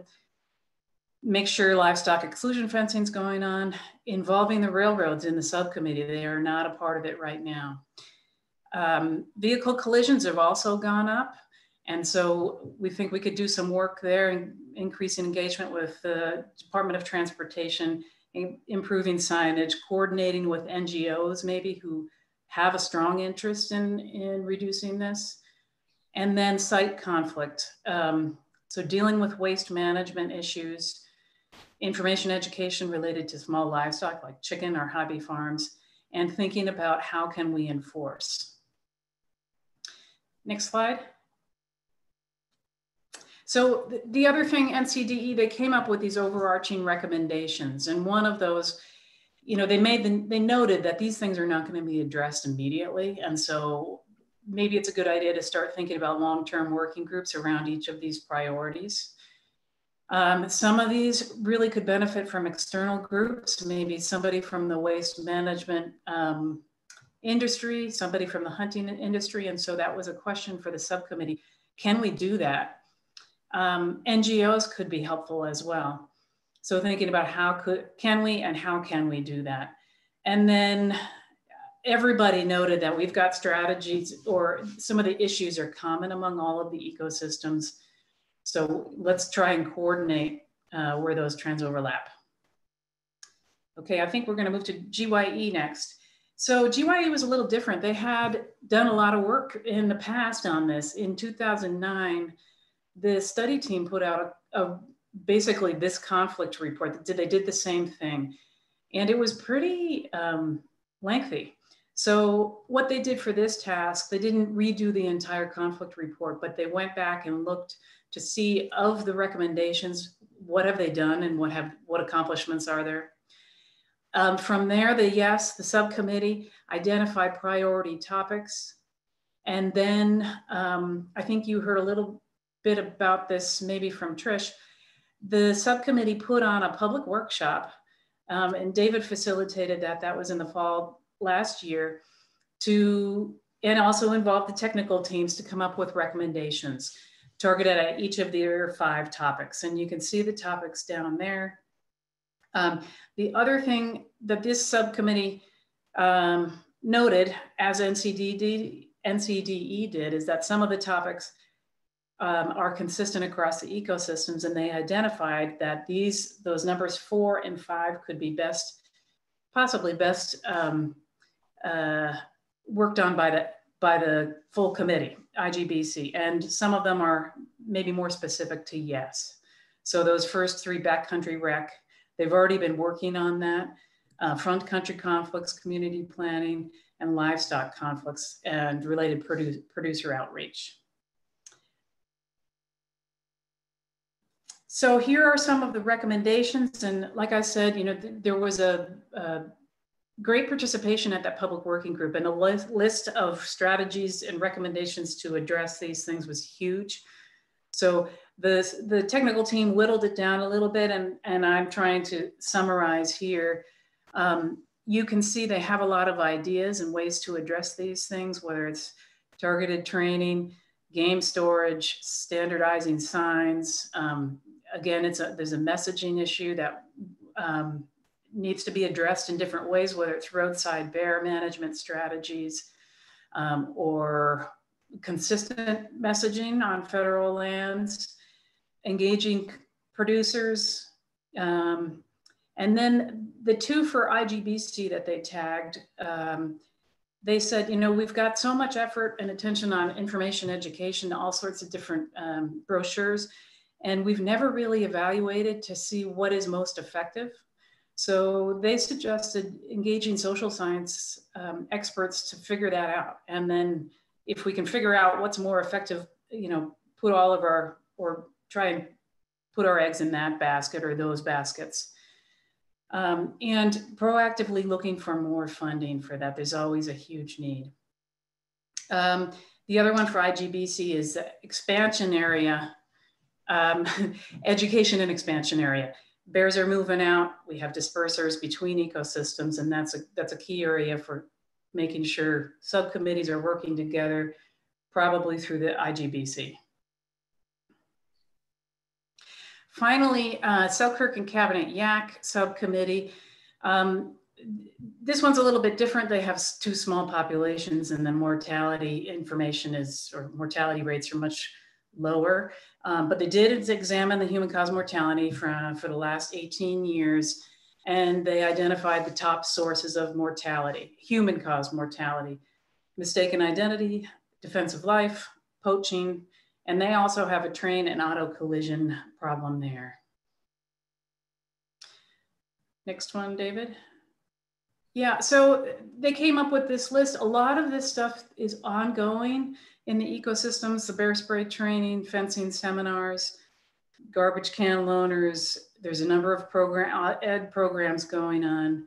Um, they suggested for most of these things, continuing that and improving, improving enforcement, um, having a mandatory black bear identity identification course, um, improving highway fencing and crossing structures, and continuing carcass pickup. So that was the summary. You know, so we had each subcommittee got together with the, got these drafts together, and then a few weeks ago we had a basically a working group discussion with members from each of those technical teams across the ecosystems, and then I think Chip Corsi was there. Some other subcommittee members were there. Randy Arnold was there to talk about this. Uh, um, just initially how we might think in the future, hopefully at the July meeting, on how what needs to be coordinated through IGBC and how to do that. So I hope we'll get to that next month. Thanks for that summary, Hilary. And, and I mean, so the idea here was the, the subcommittees reported their status in December.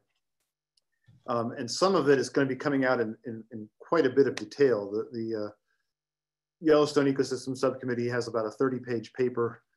Uh, I think it may be actually longer than that. Uh, but they're, they're also doing a process right now where they're prioritizing it and trying to focus, you know, as Hilary mentioned, on the things that they're, that they're going to be actually trying to move the needle on.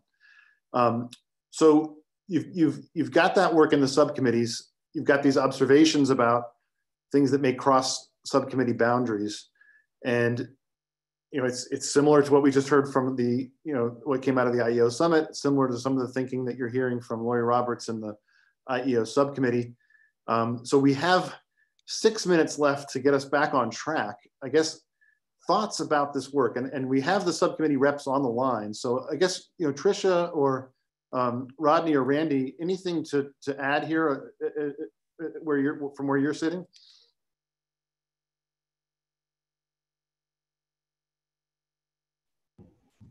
Uh, David, this is Randy. I would, I guess, what I would add is that this is a very, I'm very glad that the conversation has um, come to the IGBC in this way, um, where I feel the NCDE could continue to work on these locally within our um, subcommittee.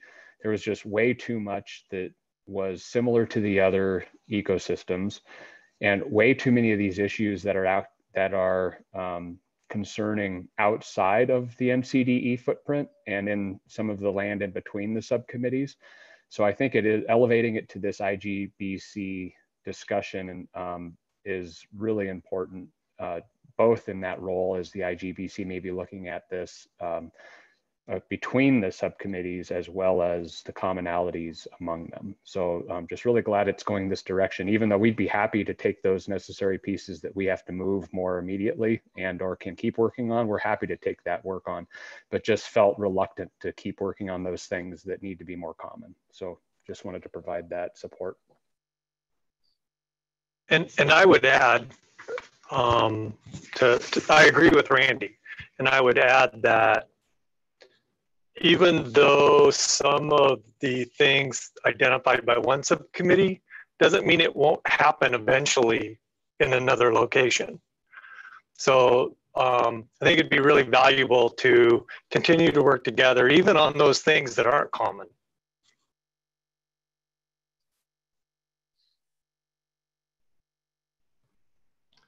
Yeah, and, and this is Trisha. The only thing I would add, completely agree with what's been said um, by the subcommittees. And, um, you know, I think that none of us want to invest uh, resources or, or let, let me say this a different way.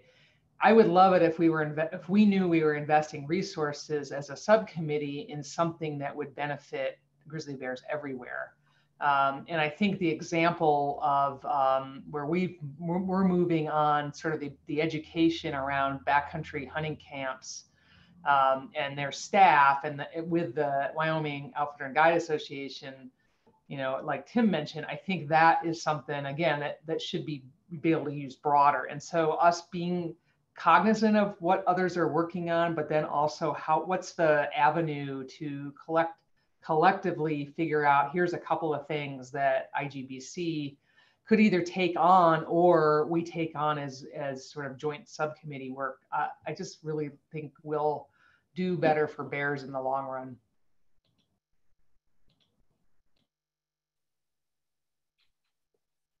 I want to jump in because it'll be I uh, you know as we continue to talk about this I don't I want to clarify I think, or ask a clarifying question is we're not talking about um, completely moving away from the recovery areas, recognizing they're yeah, um, different places. But we are talking you're having, about, you're having a little interference there. I'm not sure. It's my microphone.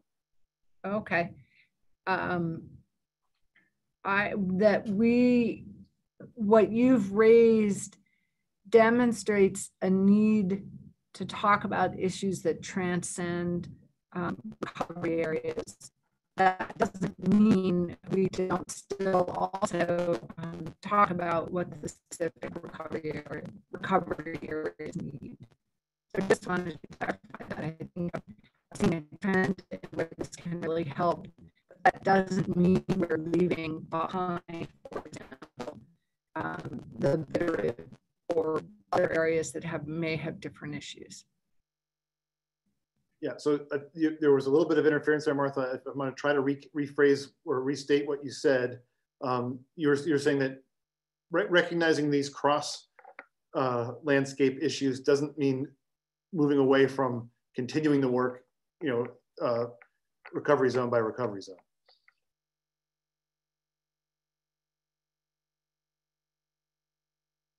So, and that, that is a key point. And certainly I've heard it from the Yellowstone group that I work with in my day job. They're happy to do their work and they're, they're proud of their work and it's, um, they're, they're moving ahead.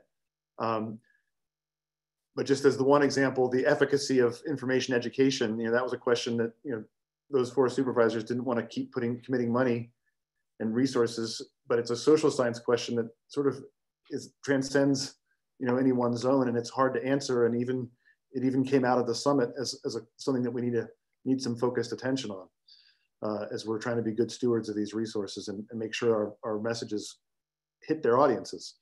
So I'm seeing a lot of cameras off here, um, right when the conversation is getting really interesting. Um, what do folks what do, what do folks think here? So again, we've we've you've heard from the information. that there was this summit across the whole range on on, on I&E. You heard from the I&E um, subcommittee itself. And then now you've heard from these subcommittees answering the, the, uh, the call from, from IGBC to report on prevention, um, uh, on conflict prevention. Uh, and, and then I guess maybe Toby, we should, should throw your, your thoughts about you know, the IGBC into this as well.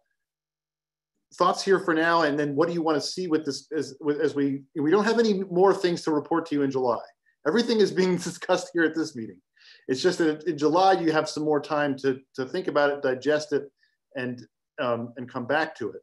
So I guess with that frame, uh, I'm seeing lots of cameras come back on. So who's got some thoughts?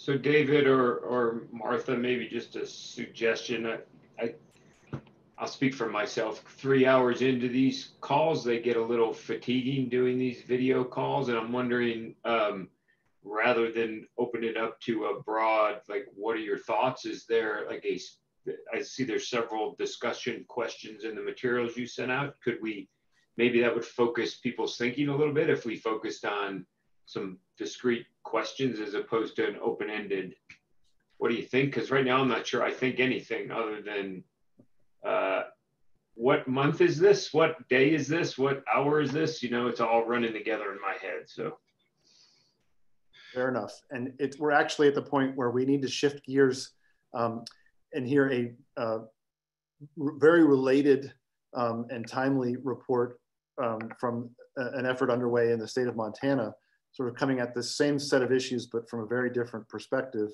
than, than this interagency group has in the past. So I guess it's a good point, Matt. So what we're trying to get to here is um, you've got some explicit requests from Lori and for direction on how does IGBC move forward with I, I&E efforts.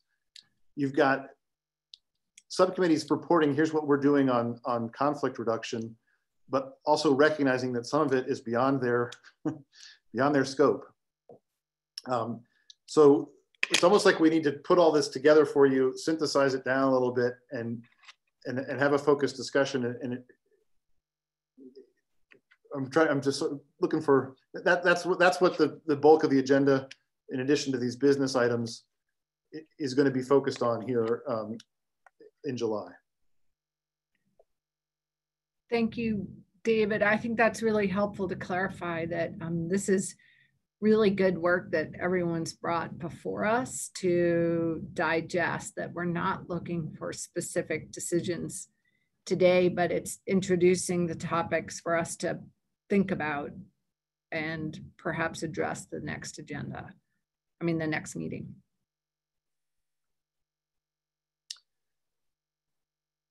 Okay, so to just to add additional complexity, uh, I'm going to shift it over, and I think Heather Stokes has joined us.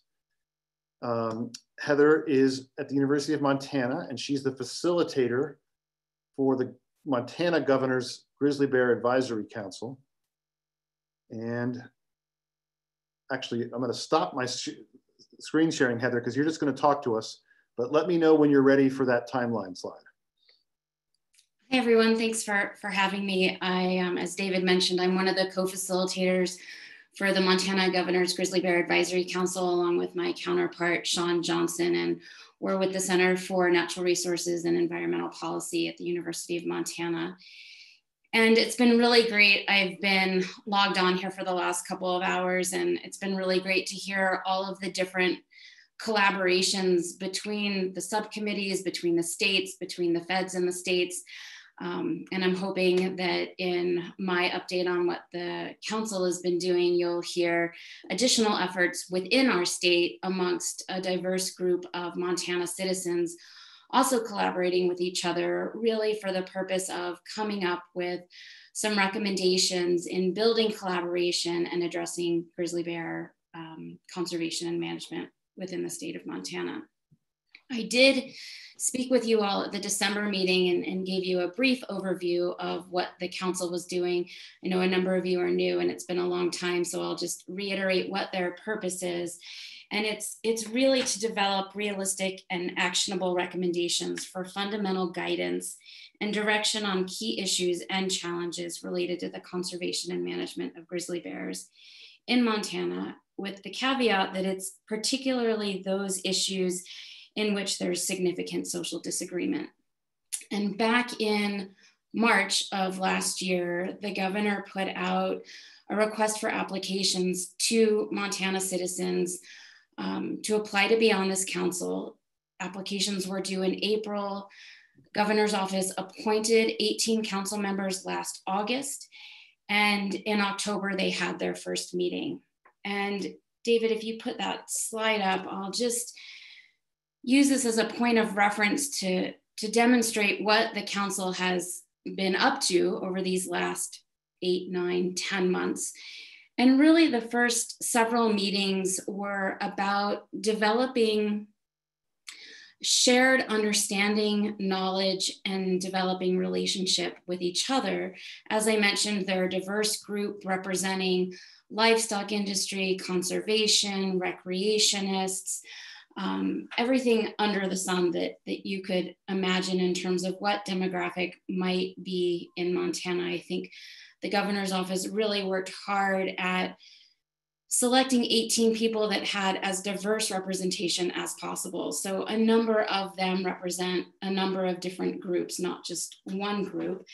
They do represent themselves as citizens and not necessarily um, the agency that they work for or the community that they're in, although they are liaisons to their community in engaging the public and bringing back in public concerns from their community. So there's really this attempt at integrating diverse perspectives in understanding what the issues are around grizzly bears. And if you go to the website, uh, the fwp.mt.gov slash GBAC, which governor's Grizzly Bear Advisory Council, um, you'll find the executive order with the charge and the issues that they are addressing and again, back to the timeline, they, they spent a lot of time really addressing content as a way of gaining some shared understanding and knowledge of the issues.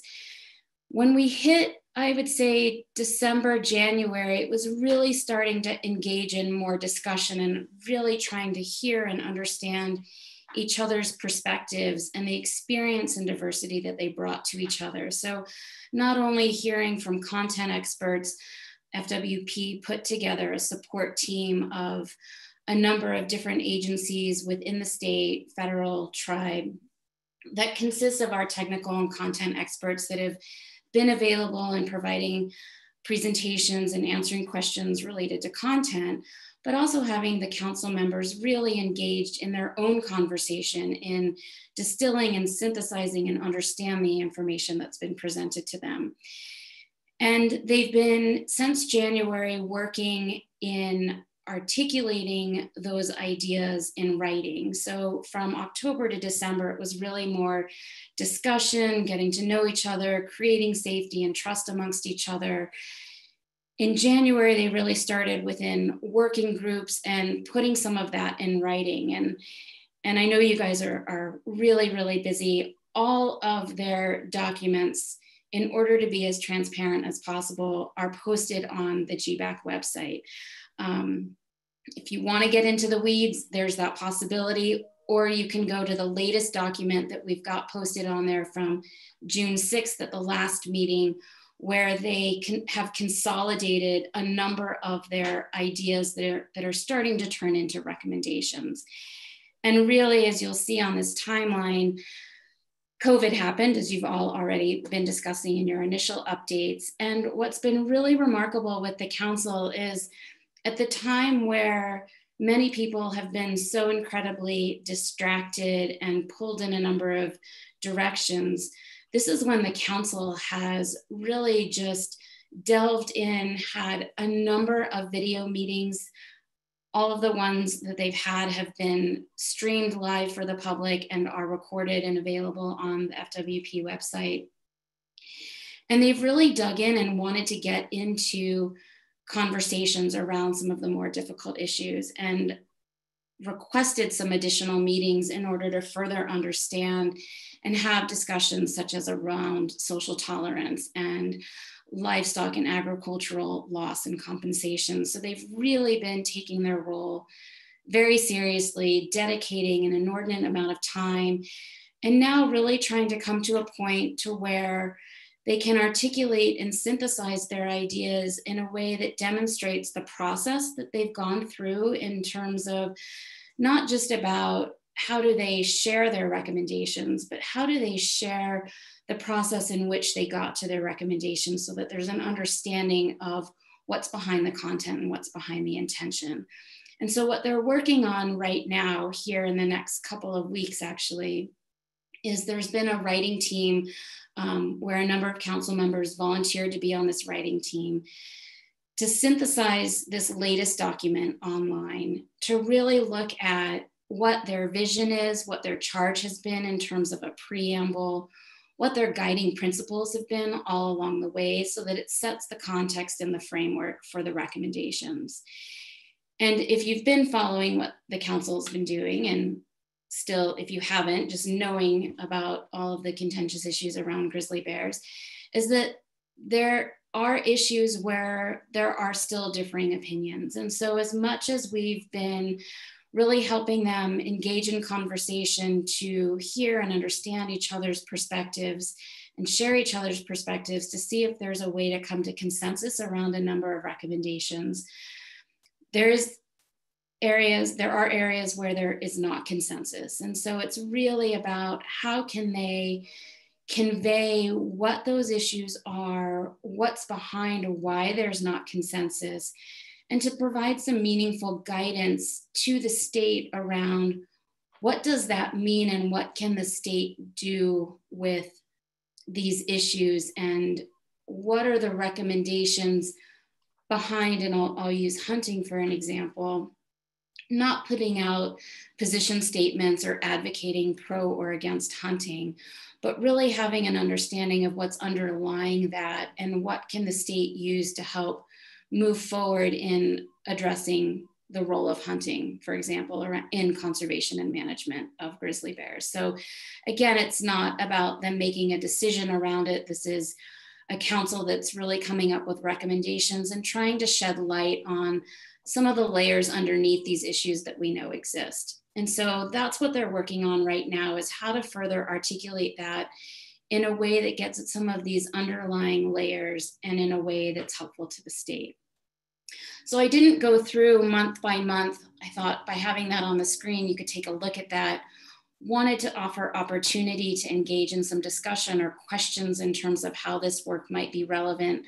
Some lessons learned from us. We'll be able to share more of that uh, once the council does put out their recommendations. We are still on track to have a final report to the governor's office by the end of August, so by the end of the summer. So despite COVID, despite all of the other disruptions, we're still on track and um, truly commend these 18 council members and all of the support team in staying engaged, staying attuned, and continuing the hard work. So I don't know, David, if, if there was more that you wanted me to address or Martha. well, I, it's, it's perfect. And I'm just holding up here and it was, so there's a link in the briefing memo and it's also on the, the website to the, that June 6th draft. And it's obviously a draft and it's gonna probably change quite a bit. But what I, I guess I wanted this group to be aware of in particular is just the subject headers that this group of citizens has taken on with the benefit of consultation with some of these technical folks, you know, who are our agency staff, they have a whole set of recommendations on education and outreach. They have a set, set of recommendations on bear distribution, on connectivity, on relocation, on conflict prevention, on agriculture, on public land. So it's it's a it's a pretty amazing breadth of uh, work that they've taken on, and you know some of the things are, are similar to the things that you've heard reported out uh, from, from your IGBC subcommittees here today. So um, Martha, did you want to? I don't, I don't, I don't need to add in. I think you guys have done a good job and, and um, I just got a call as an anecdote, um, a member of the Grizzly Bear Advisory Council called me late uh, Friday night, just giddy with saying how um, she thought they had made such great progress even last Friday and think that they're getting, they're gelling and that they really might provide some helpful recommendations. Um, they're not just going through the motions, but that they really are providing something that might be actionable. And, and, and kudos to everybody engaged in it. It's been a, a fun process to watch. It's been fun. It's been commendable. They are taking their role extremely seriously and really putting their sincere effort into collaborating on this and really finding a way to have the conversation to to see where they can come to agreement and last friday just to kind of tie in both the document that David referenced and, and what Martha, you were referencing is that the writing team met for over six hours on Friday. Don't get attached to the June 6th framework. the, the content will be in there, it will be represented. Um, but in the meeting on June 8th and 9th, they really talked about a different way of structuring the content that would be more user friendly to those reading it, both the public and, and to the state um, and a way to really convey more of, of their discussion. And I'm glad to hear you got that call, Martha. That's that's um, aligned with what I'm experiencing with them as well. So they've been great. It's great to share the update with you, and I imagine they'll be really excited to share their report if you are so interested in your winter meeting. Definitely. That's terrific, Heather. Thank you so much. Any questions for Heather? And again, it's very transparent to, to watch that group work. Their, their meetings are on Zoom and all their documents are on that uh, uh, website. So um, thanks to Heather. And so here we are, it's 4.30. Um, Scott Jackson, you're next on the agenda. Um, let me, do, do you want to um, if you could, if any any minutes that you could give us back become a break for this group before 4:45. Glad to do it, David. So Scott Jackson, I'm an advisor to IGBC, I'm the Forest Service Carnivore Program Lead, and I oversee the um, IGBC's bear-resistant products testing program. And um, yeah, I'm happy to cut what I can out of that coveted last presentation slot.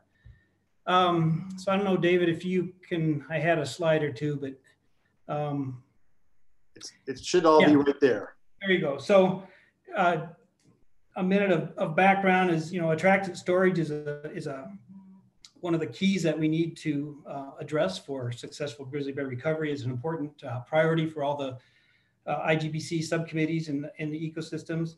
And so uh, 20 plus years ago to pro help provide good information to consumers and to agencies relative to what kinds of projects um, could be considered bear resistant. Uh, the IGBC put effort into developing a program to uh, test products, commercially available products, and um, make a, a, determination whether they met standards that we had developed for being bear resistant.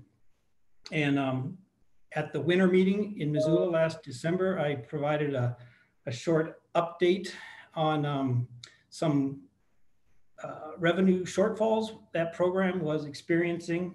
Uh, kind of went through more detail then about how the program was funded, what the sources of income were, were what some of the reasons we saw for the shortfall had been. Um, and then uh, we talked about what we were going to do about it. And I said I would get back to you at the summer meeting with what we had done. So that's what I want to do here in the next two minutes here. So um, since that December meeting, we've taken a number of actions to um, address the program revenue shortfall. More information is in that briefing packet that the executives received, but, but in a nutshell, um, it's on the screen here. We raised each product's testing fee $100 per product. Um, so now, for instance, to get a cooler, for instance, tested with the live bears um, at Grizzly Wolf Discovery Center, it's like $725 now. Um, we revised the testing fee revenue split. Um, we, we partner with Grizzly and Wolf Discovery Center in West Yellowstone. They have um, captive grizzly bears there. Um, they do the testing and as per our protocol, provide us with the testing results and we make a determination whether we approve those or not. We split the, the testing fee revenue with them. It used to be a 50-50 split. We renegotiated that and now IGBC um, receive 75% of that, um, those testing fees and, and 25% go to the Discovery Center. And then um, that we did send out a mailing. We had discussed and, and, shared with the larger committee through a series of emails and opportunities to review and comment um, that we wanted to implement an, an administrative fee. Um, previously, the income coming into the program was through testing fees where you're seeing fewer products tested. And so, um, and a bigger part of the workload for the program was administering the database and information flow and all the changing businesses and, and um, you know, field failure reports and things like that that we were having to deal with. So we wanted the administrative part, the care and feeding part of the program to provide some revenue as well. So we implemented a fee uh, that would be like $100 per product um, to maintain their product on our list. That helps us communicate better with those manufacturers. It helps keep us current in which products are still being manufactured, which ones have changed over time and maybe don't meet our specs anymore, um, making a, a, a, more streamlined and um, valuable information source for the public when they access our product list online. So uh, in mid-April to the end of April, I guess we sent out uh, letters uh, talking about this new administrative fee. We sent them out to 112 manufacturers. As of last week, we'd received about a third of those back, 37 responses, um, and we generated $4,600 in administrative fees thus far. Um, so, you know, that's money that hadn't been coming into our program previously. Um, you know, that said, the, the, bulk of the funding for the program still comes in through testing revenue. Um, we don't we're having a low, another slow year in products being submitted for testing, whether that's COVID related. Um, that probably has a lot to do with it just because a lot of uh, businesses are slowing down. Um, so it's too early to know in this testing season whether we will have a shortfall or not, but we're hopeful that with these um, actions that we've taken that we will address the shortfall and we will be able to stay fully funded um, through the rest of the testing season. Um, I just wanted to say, you know, this was, you know, Chris Smith with WMI. You know, these monies are are um, administered through the WMI um, IEO agreement, and Chris was really implementing uh, instrumental in implementing this uh, admin fee along with our program assistant Patty Soka. Um, I think Chris is on the line. I don't know if Chris, if you had anything to add to this, um, but other than that, that's all I had to say happy to answer any questions or, or Chris, if you had anything to add.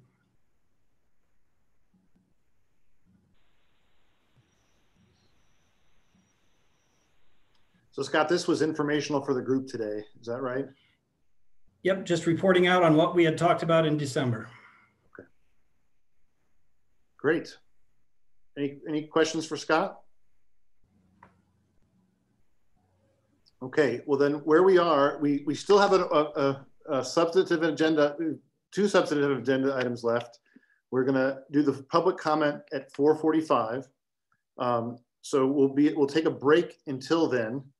Um, I wonder if I can, oh, I guess I can't, can't edit this. Oh, well. Um, at 445 sharp, we'll uh, uh, come back. And so Dylan uh, Tavish, if you're on the line, um, what do you have in the queue? Have you received some written comments? And then folks, if you look on your agenda, um, there's a there's a phone number to call to get into the waiting room. So Dylan, what's the what's the update here on the public comment?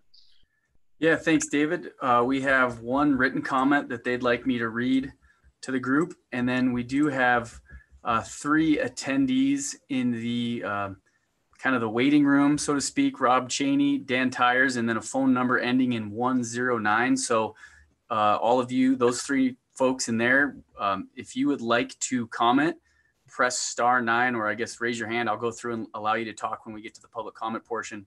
But otherwise, for everyone else, if you would like to comment here in a few minutes, uh, on the IGBC online meeting website page, there's that phone number to give a call to. So call that number, uh, enter the webinar ID and the password, and that will put you into this kind of queue and we'll give you an opportunity to comment. So now would be a good time to log into that uh, if you would like to provide comment. And that information is on the igbconline.org slash meetings site where this uh, is being streamed as well. Great.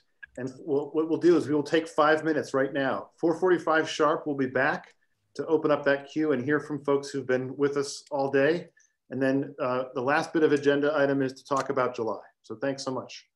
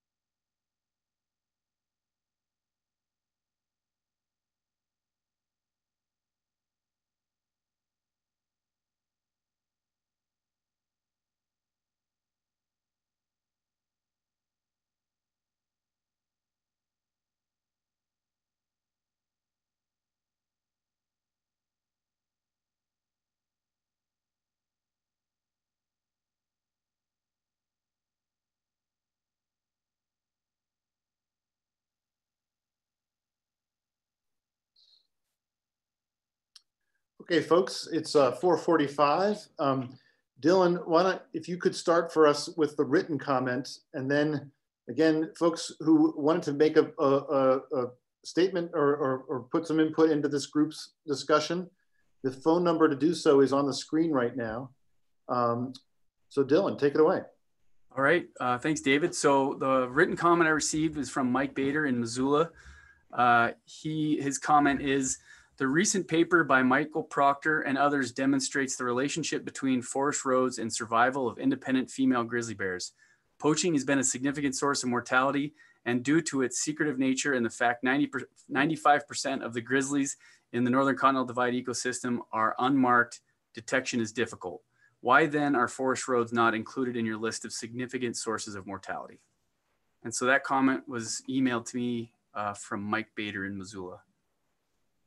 Um, so now I will open up our attendees list. I already got confirmation from Rob Chaney, who's in there, that he does not have a comment. Um, Dan Tires, I see you in there, so I'm going to unmute you. Uh, Dan, you're unmuted. Did you have a comment uh, that you wanted to provide? And you are un, well, let me unmute you. Dan, it's not letting me unmute you for some reason. So I don't know if you're, oh, there you go. Dan, uh, do you have a comment? No, I don't. Thanks for the consideration though. Okay, yeah, thank you, Dan. Uh, and then next we have a phone number, area code 406, and then the last three numbers are 109. So you are unmuted, uh, phone number 406 ending with 109. So if you have a comment, please state your name and where you're from. No, I have no comment. Thank you. Okay, thank you. I guess I'll pause here uh, for a second to see if anybody else is going to call in. Uh, like David mentioned, if you call that uh, number on the screen uh, or on the website, you'll be admitted into this uh, little call-in queue.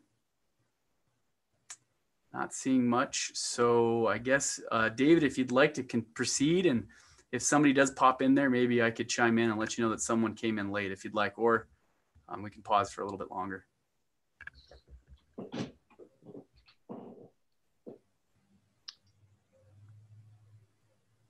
Sure. Uh, Martha, any thoughts uh, on how to proceed here? We were. Um, I, I think we can go forward, but certainly interrupt Dylan if somebody um, calls or sends in a comment. And I wonder just, you know, to, to ask, um, to think down the road if it would be more helpful for me to stop and um, turn to you throughout the agenda and see if anybody has called in. It seemed like that didn't happen today, but I know we as a, as a council have been interested in how do we um, provide opportunity for comment. So. Yeah, and one thing we talked about, Martha, with this agenda was putting the this discussion about how you're going to use your time in July after the public comment, you know, and so that we could take, take you know, take stock of what we had heard. Uh, I'm not sure if there's any any reaction there, or um, you know, you certainly got a lot of content presented this afternoon um, that we now have uh, some agenda time in July to program around some next steps. So um, maybe Martha, it makes sense to just you know reflect here uh, about how this virtual setting worked um, and, and what you might need, because this was obviously more one-way presentation. Um, in July, you've got a lot of questions on the table and there's gonna be a need for some more discussion. Uh, yeah, and I would throw it out to others, but I was thinking through that, that we um, had tried to shift away from just having presentations. You know, while we have all of these pretty fabulous people gathered. Um, it needs to be worth everyone's while. At the same time, I was reflecting on it and thought, well, it makes sense to some degree that today was mostly um, information items because were we to be meeting in person, it would be a combination of information and then the ability to engage and deliberate more. So um, it makes sense to me that we needed, there's so much good work. We needed the information today and that the next meeting we're having um, virtually, we will need to be experimenting on how to engage more. So that that's my thinking, but I would um, I'm totally I'd like to hear from others on how today worked for you. Yeah, this is Tim from, from Wyoming. I liked a lot of the presentations, like Lori's presentation now. I think we can almost make some of those decisions via email because we got to see the presentation, we got to ask questions. Now we can go back, think about it a little bit. And something like that, I don't know if we need to deliberate anymore on. Uh, maybe others do, but I think it sets us up so we can go back and make a, some more informed decisions. But that, that's my take on some of these things. We can take some things and maybe handle them over email. Great. Hey, Martha. Yes. One question I had was, is in July, are we going to have an executive committee meeting only? Or is this going to be streamed on YouTube, um, the whole thing? Um, you know, we hadn't talked about it. Um, we've when what we've gone into executive um, session often when we're talking about litigation, right, current litigation, and um, then certainly last summer, our session, our planning session, which I think was, I think we all found really helpful. So, are you suggesting you'd like uh, at least some time that's executive session? Well, I, I, yeah, I guess I would like, you know, we talked about, uh, you know, a couple meetings ago, uh, having a sort of a splitting up the meeting and allowing, uh, you know, um, sort of a, a sort of a, a, working opportunity for the committee and then another opportunity for the public and the reports. And, uh, you know, I was hoping that we could uh, maintain that sort of idea um, moving forward. Hmm.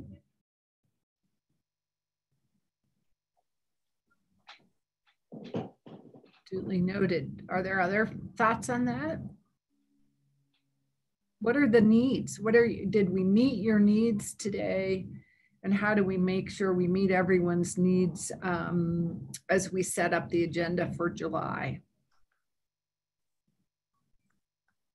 Hey, hey Martha, is, oh, sorry, I talk over someone. So this is Matt. I I um I agree that the the presentations were really great presentations. There it's just really I don't think any of us. Well, I'll speak for myself. I have yet to find the secret sauce of how to conduct really good uh, dialogue with a group this big over topics as broad as these. So I don't know that I know exactly the best recipe, but I think, um, particularly as the day wears on, having kind of discrete, and, and, David, I know you did that in the what you teed up for us, which was helpful. I, I think discrete questions is always helpful.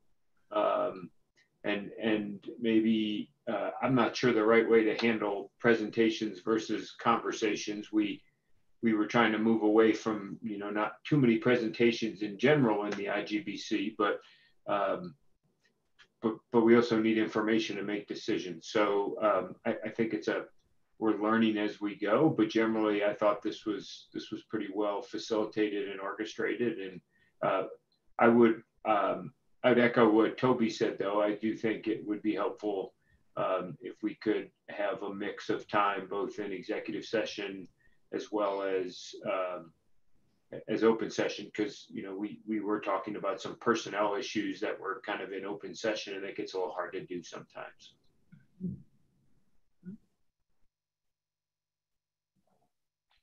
Hey Martha, this is uh, this is Mary Farnsworth. Um, I agree with what's been said. I thought today's uh, meeting was excellent. I thought the presentations were very good. Um, it's really hard to have dialogue um, in in this situation, and I also concur that it'd be nice to have a, a small bit of time for an executive breakout. Great. Uh, so I, I feel like I've heard a couple of things for the next meeting to have some executive session um, that we may be able to handle some of this work through email to take some issues off our plate to have more time for discussion for the other issues. Um, and I think also as we're setting up the agenda, if there are sort of actionable proposals coming forward, then we have something um, specifics to talk about and a way to move forward. So we don't re keep rehashing the same, same issues. Those are some of the suggestions I've heard. Um, and, and David, is it a good time? Maybe even this would help focus the discussion as well. As we're thinking about the next meeting, um, we know we already set up that we would talk about the um, executive coordinator position that we know we need to um, take uh, have a discussion on the budget and and don't we need need to take action on the budget at the July meeting? Yeah, I think I think uh, the action item from earlier today was there was a, a, a group that was going to take go forward and bring back sort of discrete options. You know, you could have door A, door B, or door C, um, and here's the here's what the what each of those costs and what what you get with each each of those um, proposals. I see Chris Savage is is back on. Is that is that a good recap? Yeah, that's the recap. We we would have a couple different alternatives with the existing savings that you have for the from the coordinator position, and then um, and then the budget would be what do we need to set up for FY for the next fiscal year. So there'll be two two parts to it. So you've got these sort of business personnel set of issues, and then you have this this uh, you know sort of what what what is the next strategic move here for IGBC? And I guess Toby Boudreau, I wonder if if you were sort of recommending a group to think about the charter or the structure in some way. I'm not, I'm not is July uh, a reasonable time to do that, or is that more of a winter? Maybe maybe you could say something more about what your what your thoughts were. Do you want me to say more about it now, or? Yeah, I mean, just is is is this so, something you want to put? Does it fit with what we've been talking about here in terms of how do we do IEO? How do we do? Yeah. Well, uh, yeah, and of course it fits in with all of that. Um, you know, I think that uh, you know we have uh, seen recent events lately that uh, you know I think prompt Idaho to want us to uh, to want to uh, you know review the charter and the work organization and structure of IGBC. You know, I, I think that um, you know although the, you know, including the S committee as a sub part of the IGBC part, charter is appropriate, um, you know, I think that uh, it's important to Idaho to structure IGBC to ensure that we achieve delisting and continue in, interagency conservation um, beyond delisting. And I think that uh, I think the only way to do that is to really critically look at the structure of IGBC and uh, and and and really examine does this make sense? Does it make sense from a from purely a wildlife management standpoint? I mean obviously uh, we've got some small populations of very few bears that will i mean even on the maps i saw today show that you know the selkirks goes up into canada but yet we're only analyzing the fight the status review on the US side. You know, we are, um, you know, there, there's a lot of intricacies to bear recovery. And I think we are not acknowledging as a group that really uh, several of these populations, and I, I appreciated Chuck Marks's uh, diagram he put up there of the Selway Bitterroot ecosystem because it links right up with the Selway or with the Selkirk and the Cabinet Yaaks and the NCDE really kind of acknowledging that there is just one big meta population um, of bears, and uh, and we should be working on delisting in that vein and not having these small fiefdoms because they're never going to be recovered.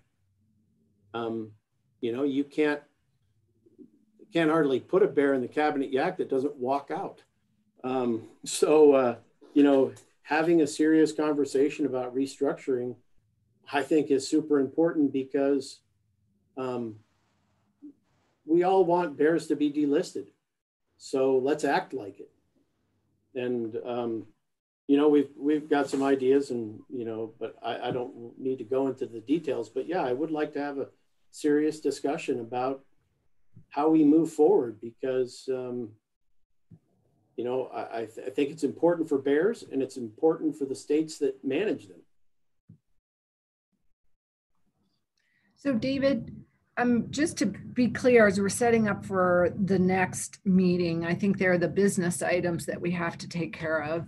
And then there are some um, strategy questions um, that we need to address, like what's come before us from I&E subcommittee, like what's come before us from the subcommittees. Um, and then I think, Toby, there's your request. I wouldn't lump that in with the others necessarily, in that we did go through a lengthy strategic planning session last summer.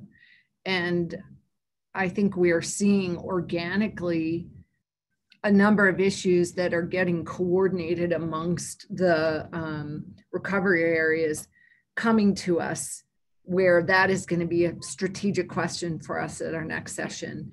And then I wonder whether after the next meeting, we do an executive session and a meeting just on um, on Toby's conversation. But I, I, I, Toby, respectfully, I don't want it to get us off track on um, from from being so close to getting these certain items done and moving forward. And I think that it's probably more um, fruit, a more fruitful discussion is perhaps part of an executive session. I'm just being totally honest there. I agree, Martha. I mean, it, uh, it, there's a lot of uh, there's a lot of sausage being made right now, and uh, you know I want to change the recipe. So yeah, I mean, obviously, um, we should go through the process, um, but I think you know we need to have a very frank uh, discussion about amongst us about how we move forward and you know how we address the issues that uh, you know I'm bringing up. That's all. Mm-hmm. Fair enough. And I, I mean, to to support that, Toby, I think that we made a big step that way last summer, where we committed to these coordinated efforts. I mean, I think of the statement that came out of it is similar, and your request can grow out of that.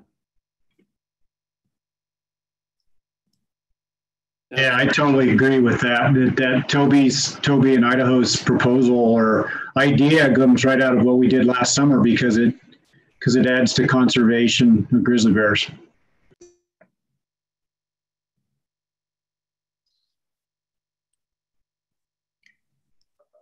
Other thoughts on that topic? Looks like Dylan may have a comment for us. So just uh, while that thought is still on the table,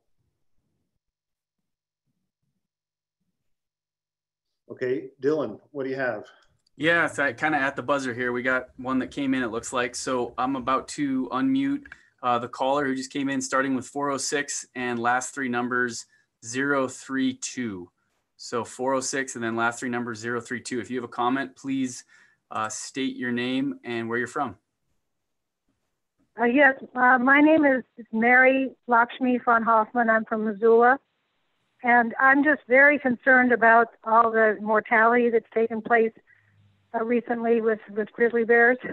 And a lot of it because of people not securing all of the uh, things around their homes. And also the fact that um, cattle are going into a grizz country too much. I just think that uh, if we want to have grizz stay with us on this planet, we're just going to have to let them have some space and stop taking everything over for our human needs. Thank you for the comment. Okay, thanks. All right, David, that looks like the last one, so I'll hand it off back to you. Thanks. Okay, yeah, no, thanks. It is great, great to get folks' engagement on these topics. Um, and so we're, Martha, I'm coming back to you. So we're, we're, we're trying to land on here and getting folks out on time is, uh, so the purpose of the of splitting this meeting into two parts was exactly the point Matt Hogan made, which is that these virtual meetings are exhausting. Mm -hmm. uh, usually you would have spent, you know, what, more than, you know, two days, two nights, uh, you know, twice a year, you, you've, you've got all this other ways of interacting uh, uh, as, a, as a team in, in those settings in person. So here we're, we're trying to trying to replicate some of that. And so we split the time uh, across two months even um, so, to give you some, some recharge. So we, we, we're looking at is, is, a, pres a, a, a four hour block that's gonna have to have a longer break because it's going across a lunch hour, at least in one time zone. We have business items that are gonna need to come in for decision. So we have got work groups that are gonna happen in between. And then we don't have a lot of presentation the, the goal then is, is to have discussion amongst this executive team. A portion of that would be an executive session and a portion of that an open session, maybe reporting out. Um, if, in the executive session, I could do more sort of breakout groups and this webinar section uh, format doesn't allow that. But there's there's ways that you can be quite collaborative together in the virtual session. I know you're all getting very used to it in, in COVID times. But uh, you know, we could you can do sticky boards and, and whiteboards, and um, you know, you can make it a real working meeting. Um, if we're if we're out of this sort of report backs from subcommittee mode and into a okay, now let's think about what this means strategically at the executive level in July. Um, David, I, I, think, you know, we know already that we have these um, business decisions before us in July. And I wonder whether um, bear safety messaging or whether some of the I&E decisions actually go get lumped with to some degree the business decisions so we know that we address those requests. Um, I just want to make sure that we do address the topics that came up today and whether there's a, um, a more um, creative way to do it. So it's not, you know, it won't be presentations.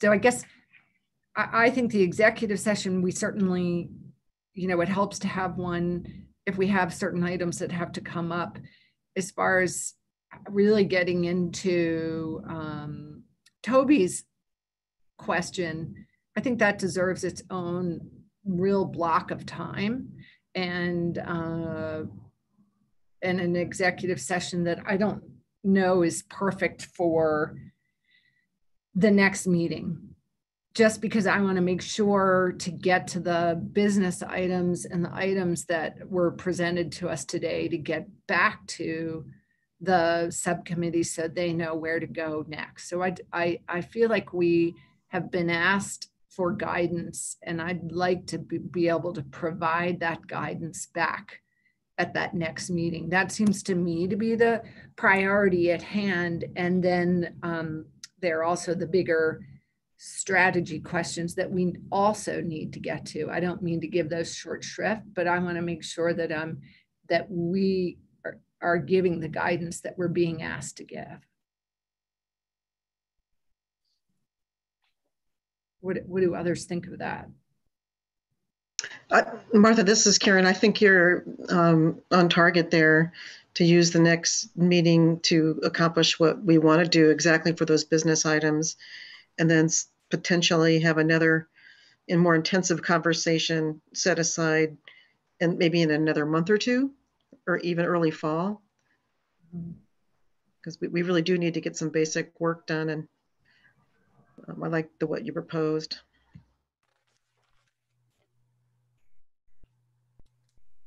Uh, this is Jennifer. And David, I, I assume that you're going to uh, obviously put together notes from this meeting. Is that a good assumption?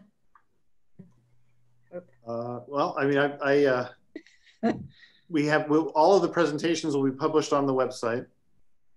The the meeting itself is recorded. Right. Uh, so I guess my point in asking that question is is in preparation for the next meeting. I feel like in order to keep us on track and keep those um, decisions that we need to make that Martha's been talking about that we we really need. Um, I, I, you know, I'm, I'm a list kind of person, so I'm envisioning sort of like these are the decisions that need to be made for the next meeting. Here's the background materials that we need to look at prior to that meeting so we can have, um, you know, meaningful discussion. Yep. That's sort of what I'm proposing, I guess. Absolutely. And so what I think it, the, the, the, the key players here then are the advisors. These are the folks who helped put together that briefing memo um, that did put forward those discussion questions. And I think the task then, Jennifer, and I think Matt made the same point, is got to sharpen those. Um, if we're taking your executive time in July, um, you now have this background that you've been presented with today, but what, what really are the questions that are being put on the table and where there are, you know, choices, it's got to be like you're either taking road A or road B, and here are the pros and cons of each. Here's what these things could look like.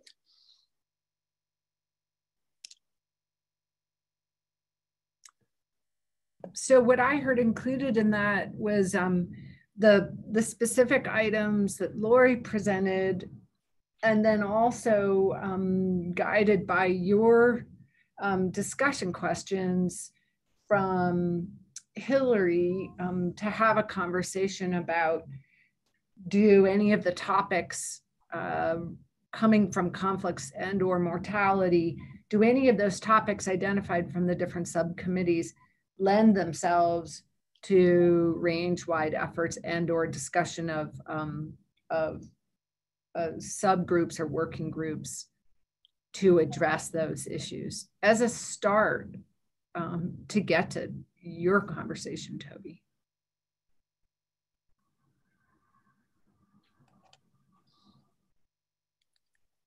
Okay. So that's what you, so you, says Jennifer, yes, you will get that kind of a wrap up here of what were the actions and what, what are we putting on the table for next time?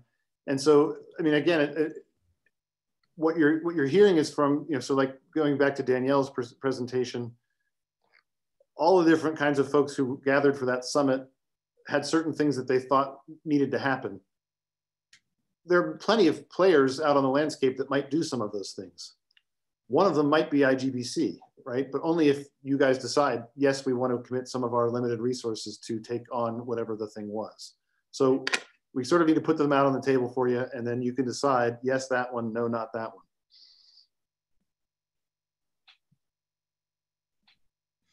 Agreed. But so as I see it shaping out, David, we've got the business items. We have some specific requests like um, on bear safety messaging, etc. And there's the strategy question of, of how these are coming in. There are a number of requests coming in asking IGBC to take on somewhat of a different role.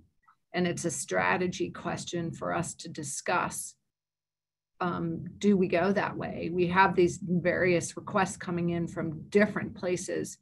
How do we feel about that?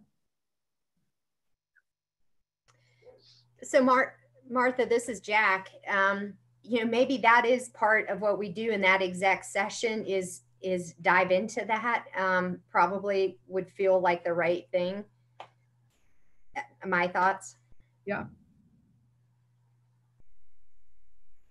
Does that serve, you know, to those who commented that it's nice to have an executive session, that kind of bigger strategy question, um, would that help all of you to talk about in an executive session, along with any personnel or um, litigation matters?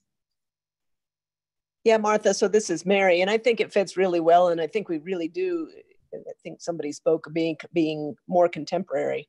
Um, and it, strikes me that we need to have those strategic discussions in order to be uh, more contemporary and to ooze into the place where we need to be given the place we find ourselves. So I, I think we need to have that strategy session and, and I think we've had it in the past, um, but I'm, I'm glad it's coming up again because I think we really need to touch, have a touchstone of, of what we're about um, all the time. And so it strikes me that it, that would be good to have in the executive session because it gets a little weird.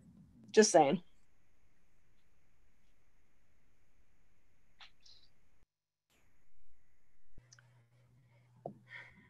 Okay. Martha, I guess you, you, do you have any last words? You feel like we have a direction for July? I feel like that was good direction for July. I feel like we landed somewhere that responded to people. And if those of you who have ideas um, as they come up, you know, maybe we start to email more as a group as well, since we didn't get to meet in person and this was um, short but um, expedient, David. so I'm happy to see everyone, to see some of you, at least your faces, and appreciate your tolerance for us trying this new format out. And David, you are super. It was really helpful to have you facilitate. Great. Well, thanks very much, everybody. So look for emails uh, and follow up, and uh, all of these folks will be in touch soon. Do we um, end it, instead of saying "Have a nice day"? Now we all say "Be well, stay well." Stay well. Thank you. Likewise, everyone. Yeah, same thing. Talk Thanks to you next month. Take care. Bye bye. Everybody take care. Good seeing you. Yeah.